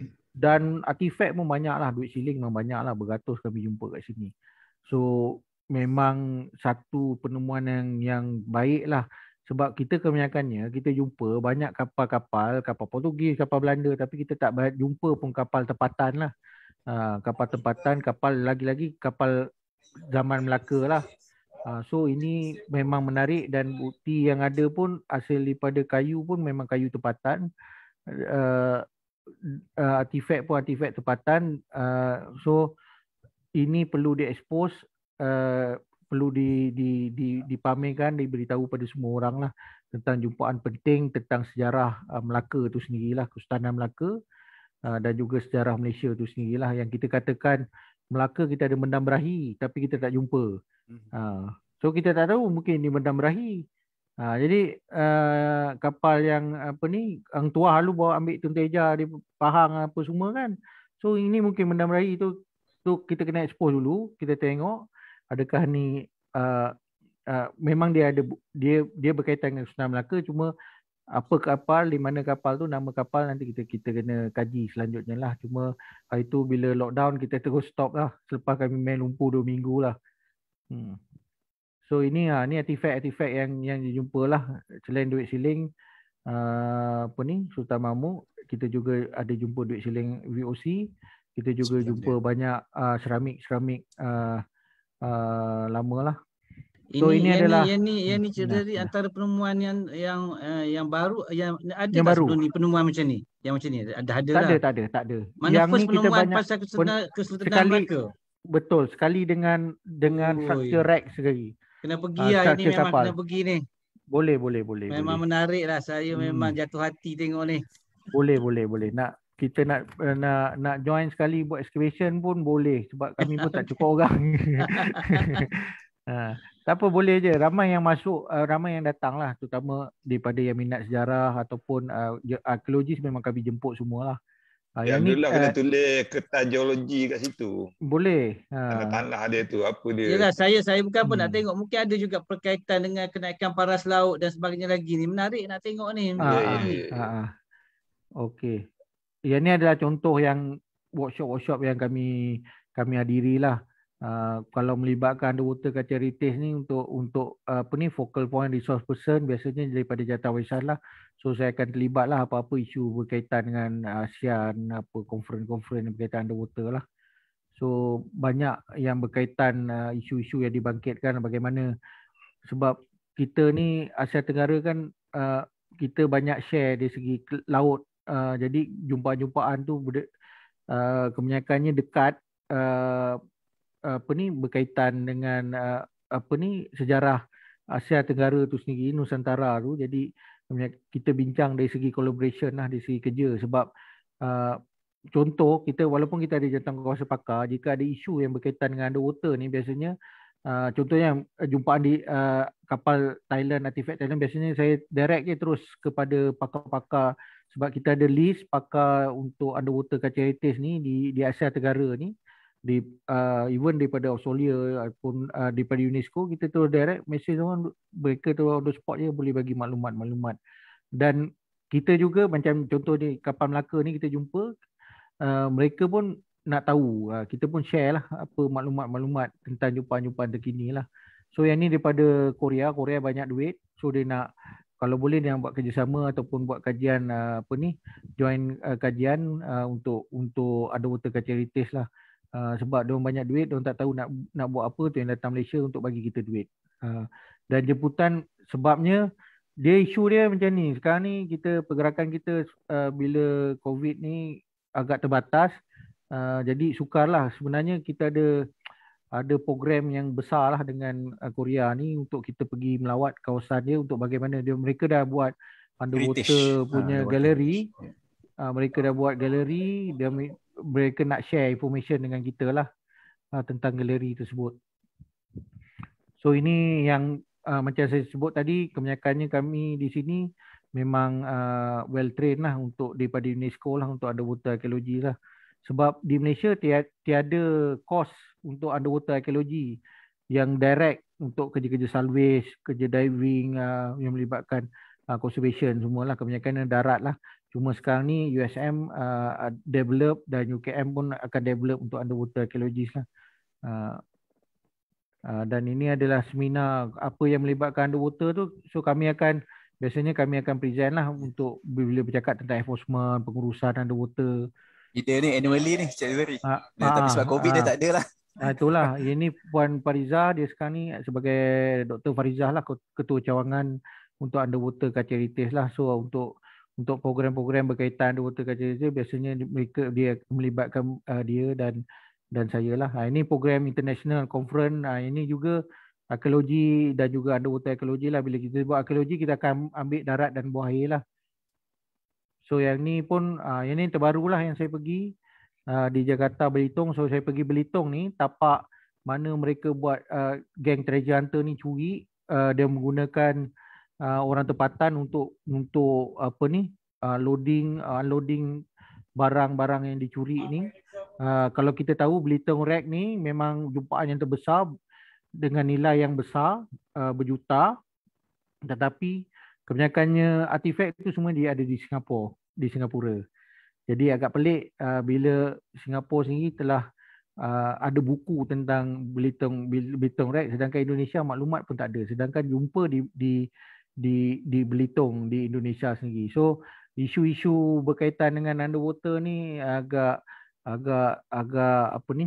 Sensitif agak kritikal lah. uh, sensitif uh, bila bercakap tentang uh, uh, jumpaan ni akan claim lah. Maknanya Belitung ni diklaim sebagai Singapura uh, Singapura punya sebab kapal tu lalu mana uh, tujuan kapal tu lalu daripada Indonesia ni. Jadi dia claim dia punya. So masing-masing akan claim. Dari Indonesia kak di karam di tempat saya di dalam teritori saya tu adalah saya punya. So isu-isu international ni uh, banyak dibangkitkan lah untuk untuk kita selesai dan uh, untuk tahun ni sebelah bulan sebelah ni di, di kita buat secara online di uh, Nusi Malaysia Terengganu. Uh, yang mana isu-isu ni akan berbangkit semula lah tentang uh, ni sambungan kepada forum ni uh, uh, kita dapat bajet daripada ASEAN untuk kita buat uh, uh, national report on underwater heritage lah. Uh, kita punya managing underwater heritage in new normal lah sebab kita tahu sekarang ni covid. Bagaimana sekarang ni kita jaga walaupun kita uh, uh, apa ni kita dalam kekangan kita kita ke- keterbatasan uh, pergerakan tetapi tetap kita kena jaga uh, ni lah. So presentation saya underwater heritage uh, di Malaysia lah so yang ni yang uh, uh, maknanya uh, untuk kerja-kerja kapal karam ni selain pada kita jumpa kita jaga kita juga kena war-warkan kena maklumkan uh, kepentingan kapal berdasarkan bukti-bukti yang ada lah. Sebab kadang-kadang bila jumpa dengan di sosial media ni cakap oh ni kapal macam tadi lah. Uh, ni uh, lukisan gua 100 ribu tahun. Dua masing-masing nak claim dia yang jumpa dulu. Uh, masing-masing nak claim uh, ini yang tertua uh, yang ni yang yang terbaik uh, jadi uh, tanggungjawab Jabatan Malaysia sendiri uh, memberi fakta-fakta yang jelas yang tepat uh, yang boleh memahami uh, dan boleh memberi info yang yang yang yang yang, yang betul kepada semua lah sebab kita tak nak uh, kita punya sejarah ni dipesongkan terpesong uh, dan uh, pelibatan-pelibatan pakar-pakar ni semua amat penting lah so kita bekerjasama dengan ikatan ICOMOS uh, dan hari ni pun kita bekerjasama dengan Persatuan Geologi dan next nanti mungkin kita boleh panggil geologi juga untuk untuk bagi talk ke, uh, kepada kepada kami untuk untuk untuk bagaimana kita boleh boleh apa menjalankan kerjasama yang lebih erat. So Allah. ini adalah uh, kita juga tengah develop untuk garis panduan SOP ekologi bawah air dan darat. So terbaru uh, kita buat kita gabungkan semua pakar ni untuk untuk kita buat satu satu garis panduan yang khusus siapa yang nak buat kerja, siapa yang nak buat kajian, okey.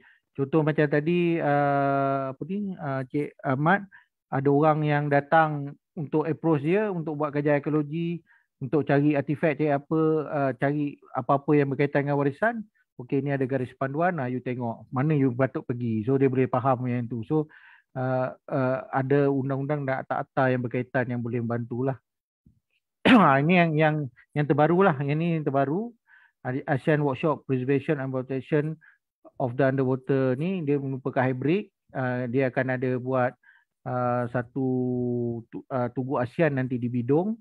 Uh, dan juga kita akan buat webinar lah. Ni nanti saya akan jemput uh, Persatuan Geologi lah untuk untuk involve sama dalam webinar ni sebab uh, uh, negara ASEAN semua akan present tentang underwater culture heritage dan boleh isu-isu yang berkaitan macam tadilah Malay Basin, uh, isu-isu berkaitan dengan apa ni penggunaan apa apa ni maklumat geologis untuk untuk mencari uh, tamadun lama apa ni struktur-struktur di di kawasan pesisir pantai atau di mana sajalah.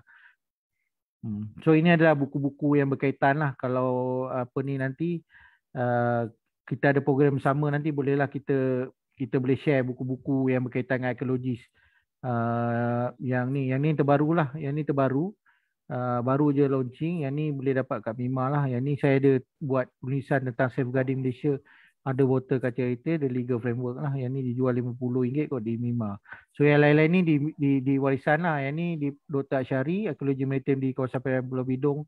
Uh, ini berkaitan dengan jumpaan Pulau Bidong lah. So yang ni boleh banyak. Uh, so uh, uh, kami ada buat bicara ekologi pada bulan ni so nanti boleh boleh join sekali uh, dan banyak isu-isu yang boleh timbul lah uh, yang mana boleh banyak juga membantu bagi ekologi ataupun ahli ekologi sendiri untuk menjawab soalan-soalan uh, yang berkaitan dengan sejarah dan warisan uh, ni uh, manusia. So ini adalah kita punya current uh, dan future untuk underwater ni. Uh, satu strengthen kita punya enforcement lah. So kerjasama erat antara uh, pihak agensi keselamatan tu memang penting untuk kita protect underwater. Uh, establish research station to carry out relevant work, uh, nautical, maritim. Uh, macam ni, uh, establish research ni termasuk geologis lah kita boleh establish uh, to create public awareness. Itu penting lah untuk untuk kami collaborate uh, action plan apa-apa saja yang berkaitan dengan uh, planning untuk underwater ekologi di Malaysia ni uh, to explore new method lah. Uh, so method yang saya sebut tadi dan teknik tadi tu banyak yang geofizik new method tu dari mudahkan kita uh, apa ni uh, apa dalam masa 2 3 hari kita dapat maklumat-maklumat uh, apa ni uh, awal untuk apa saja jumpaan. So ini collaboration. Uh, sebelum ni saya tak tambah pun uh, Department of Mineral and Geoscience dan Department of Survey ni so saya tambah kat sini lah uh, yang mana boleh bantu lah. So yang ni uh, juga termasuk universiti lah dan juga persatuan persatuan lah. Ni lebih federal level, state level lah. Cuma NGO saya tak masuk lah. Nanti uh, uh, maknanya NGO pun banyak membantu lah uh, kepada kita untuk collaboration terutama untuk menjaga warisan ni. So yang ni memang uh, akhir kata lah eh. Uh, untuk untuk warisan ni memang bukan tanggungjawab Jabatan Warisan sendiri, malah tanggungjawab semua lah untuk kita protect, untuk kita jaga sebab itulah bukti yang ada, bukti yang nampak, bukti fizikal yang ada untuk kita protect. Yang mana itulah sebenarnya uh, sejarah kita, hazanah kita yang membuktikan kehadiran kita di Malaysia, di bumi di bumi bertuah ni uh, bermula pada pembentukan uh, pembentukannya Malaysia ni 50 50 550 juta tahun kalau tak silap saya lah yang dilangkaui itu hingga ke uh, prasejarah sejarah uh, hingga ke zaman sejarah uh, prasejarah hingga ke sejarah hingga ke uh, Kesultanan Melaka hingga ke kolonial hingga ke sekarang. So inilah tanggungjawab kita untuk jaga. Sebab itu jelah bukti identiti uh, negara kita bukti sejarah yang ada bukti fizikal yang ada yang kita nampak yang mana boleh menjawab segala persoalan-persoalan bukti kehadiran kita di di di di Malaysia ni. So ini jemputan kepada semua lah. Ini akhir akhir sekali ni kita ada bicara ekologi. Uh, nanti saya jemput uh, semualah kepada persatuan geologi uh, semua yang yang apa ni tim-tim geologis untuk sama-sama lah uh, masuk uh, join talk kita pada 30 September 2021 nanti saya bagi link. Sekejap eh. So uh, nanti uh, moderator dia daripada Promadia Dr. Iskandar, uh, pengurusi uh, Ikatan Ahli Ekologi Malaysia, uh, uh, kita punya pakar daripada daripada dulu mantan pensyarah daripada USM, uh, Dr. Ahmed uh, tentang orang asli. So berkaitanlah tadi kalau yang lukisan-lukisan gua ni boleh kita kita relate dengan ni lah uh, konservasi ekologi di Malaysia. So konservasi ekologi ni pentinglah uh, daripada uh, uh, uh, Prof. Stephen Chia daripada pengarah Pusat Pendidikan Ekologi Global. Kita juga penyelenggaraan bangunan warisan lah. So arkeologi ni bukan melibatkan artifak, struktur gua tetapi juga bangunan-bangunan pun kita dianggap sebagai satu uh, jumpaan arkeologi sebab ada mungkin ada struktur-struktur yang yang bangunan yang yang tertimbul yang hilang uh, yang mana boleh menjadikan satu data penting lah bila kita buat kajian-kajian arkeologi di di di Malaysia ni eh. So sekian dulu untuk saya berbicara panjang lebar tentang warisan arkeologi di Malaysia ni. Terima kasih kerana menjemput saya uh, terutama daripada Encik Abdullah Sulaiman lah yang yang mesej saya untuk untuk uh, share tentang pengalaman uh, maklumat tentang underwater culture heritage di Malaysia. Sekian uh, terima kasih. Okay, terima kasih Encik Zairi Ali. Uh, satu perkongsian yang bagi saya sangat bermanfaat, sangat berinformatif untuk semua peserta uh, kerana mostly yang datang hari ini semuanya daripada bahagian geologis. Dan kita dapat lihat ada ruang yang kita boleh uh, gunakan untuk usaha sama di masa hadapan. Uh, di mana geologi dan arkeologi boleh bergerak seiring lah bergerak seiring hmm. untuk memartabatkan lagi bidang arkeologi di Malaysia.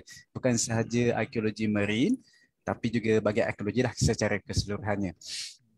Uh, mungkin mungkin uh, sekarang dah dekat 12.45 ni mungkin saya, uh, kalau ada satu soalan daripada Encik Ahmad Nizam ada soalan tu? Mungkin last soalan uh, ya uh, terima kasih moderator. Uh, Cik Rozani sikit yeah. je nak uh, tapi saya tengok tadi ada dah SOP untuk heritage tu. Itu dah di dah di apa tu keluarkan ke belum dah itu? Yang ni memang ada cuma kita tambah baik.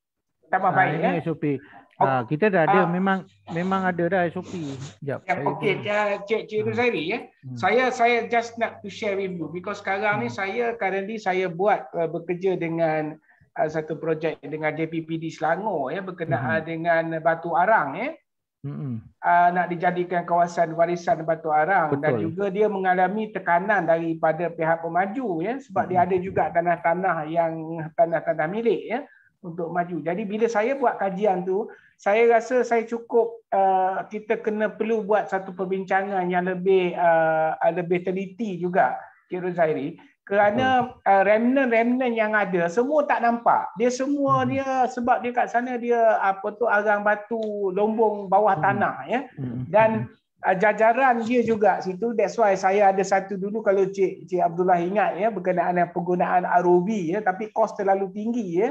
So dan kita dah map dah, saya dah dapat map yang uh, paling awal tahun uh, 1920-an ya dengan jajaran-jajaran uh, uh, orang kata terowong-terowong bawah tanah yang sekarang dipenuhi dengan air.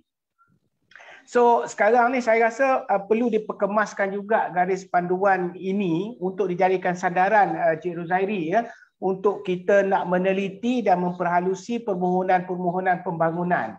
Hmm. Sebab kita agak lacking di sini juga, Cik Zairi. Sepanjang kajian saya dah buat, kita hmm. benda yang nampak semua orang boleh preserve, benda yang tak nampak semua orang lalai.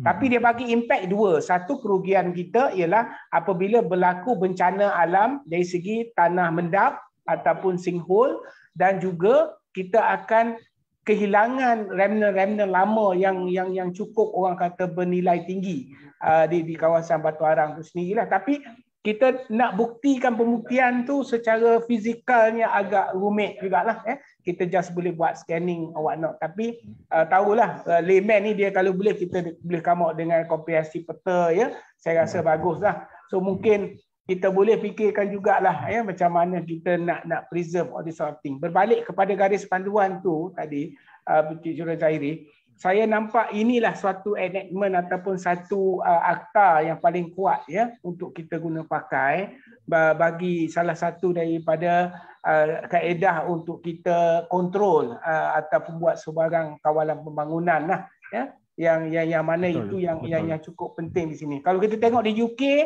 UK memang terkenal dengan uh, arang-arang batu, lombong-lombong arang hmm. batu. Salah satu benda dia sampai ada Department of Coal. Eh. Tempat kita ni lah, tak ada department tu. Hmm. Jadi kita ni semua pergi dekat orang bukan pakar. Last sekali hmm. agak-agak aja lah kan. Eh. Ha. So sikit kita perlu perhalusi juga. Mungkin kita boleh nanti berbincang lah uh, atau Cik Rozairi ya, berkenaan boleh, dengan boleh. kajian yang saya tengah buat di Batu Arang ni sendiri. Terima kasih Cik Rozairi.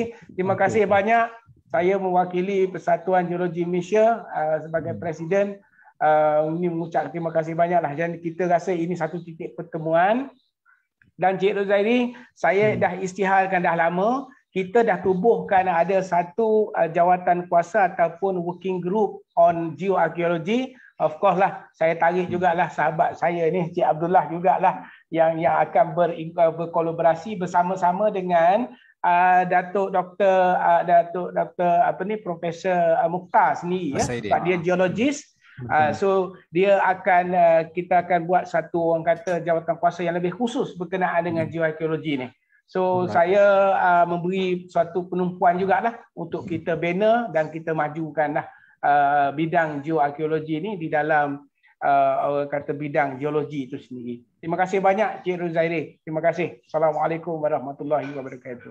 Waalaikumsalam warahmatullahi wabarakatuh. Jadi untuk menutup majlis kita pada pagi ini pada dah almost tengah hari ini, sekali lagi uh, saya mewakili Jawatan Kuasa Kerja Kuatan Negeri dan Marine Geology under GSM ingin mengucapkan ribuan terima kasih kepada Cik Rozairi uh, atas perkongsian dan yang saya fikir memang akan membawa banyak manfaat dan juga membuka membuka ruang yang lebih besar untuk kolaborasi di antara JMG, uh, GSM, IGM, BOG dan juga institusi pendidikan uh, di masa hadapan lah, macam Cik Rozairi kata tadi perlukan lebih ramai orang Betul. untuk uh, kita meningkatkan awareness kita lah kepada bidang ini.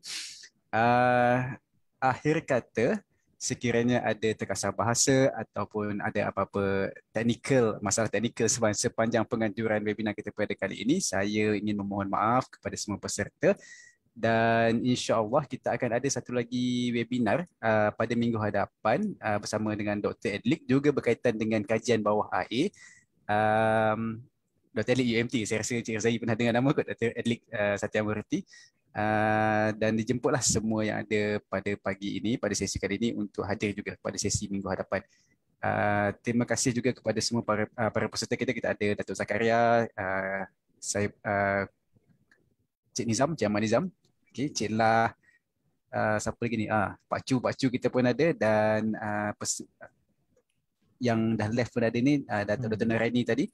Uh, terima kasih semua atas uh, soalan, atas pandangan, atas satu uh, kita panggil support lah kepada program kami pada kali ini. Dan akhir kata terima kasih. Assalamualaikum dan stay safe semuanya. InsyaAllah. Uh, saya fotografi yeah. satu oh, dulu. Boleh. Saya lupa. Fotografi. Saya lupa. Hampir terlupa. Yeah. Oh. Okay, fotografi uh, jangan lupa. ni nak masuk laporan ni laporan. Ya, masuk laporan. saya sentiasa lupa fotografi. sila sila. Sila okay. on kamera semua eh. Boleh. Ha, kita onkan kamera. Siapa yang Cik masih Rahmat, ada lagi? Terima kasih Cik Rahmat join sekali. Alhamdulillah. Oh, Cik, Cik Rahmat, Rahmat ada. ada. okay, kita... Orang kuat ni, orang kuat. Orang kuat warisan Nusantara warisan ni. Nusantara. right, uh, buah kira saya. Satu, dua, tiga. Sambil bekerja, minta maaf. Saya dengar semua insyaAllah. Absorb Oh, je. insya- Terima kasih Tuan Cik, Cik, Cik lah. Okay, uh, satu lagi. Satu, dua, tiga. Oh, Cik Rahmat okay. cantik background eh. ya, ya Abdullah pun background cantik eh. Abdullah tu bencana je Rahmat tu. Wah, tu tenang je belakang tu. Okey. Terima Okey, kasih semua. Terima kasih Cik Razari. Assalamualaikum. Waalaikumsalam warahmatullahi wabarakatuh. Terima kasih Lah. Razari, Terima kasih terima Cik kasih Sofi. Jumpa lagi Terima Datuk kasih semua. banyak. Ya. Apa lagi? Alright, Assalamualaikum. Assalamualaikum warahmatullahi wabarakatuh. Assalamualaikum warahmatullahi wabarakatuh. Waalaikumsalam warahmatullahi wabarakatuh.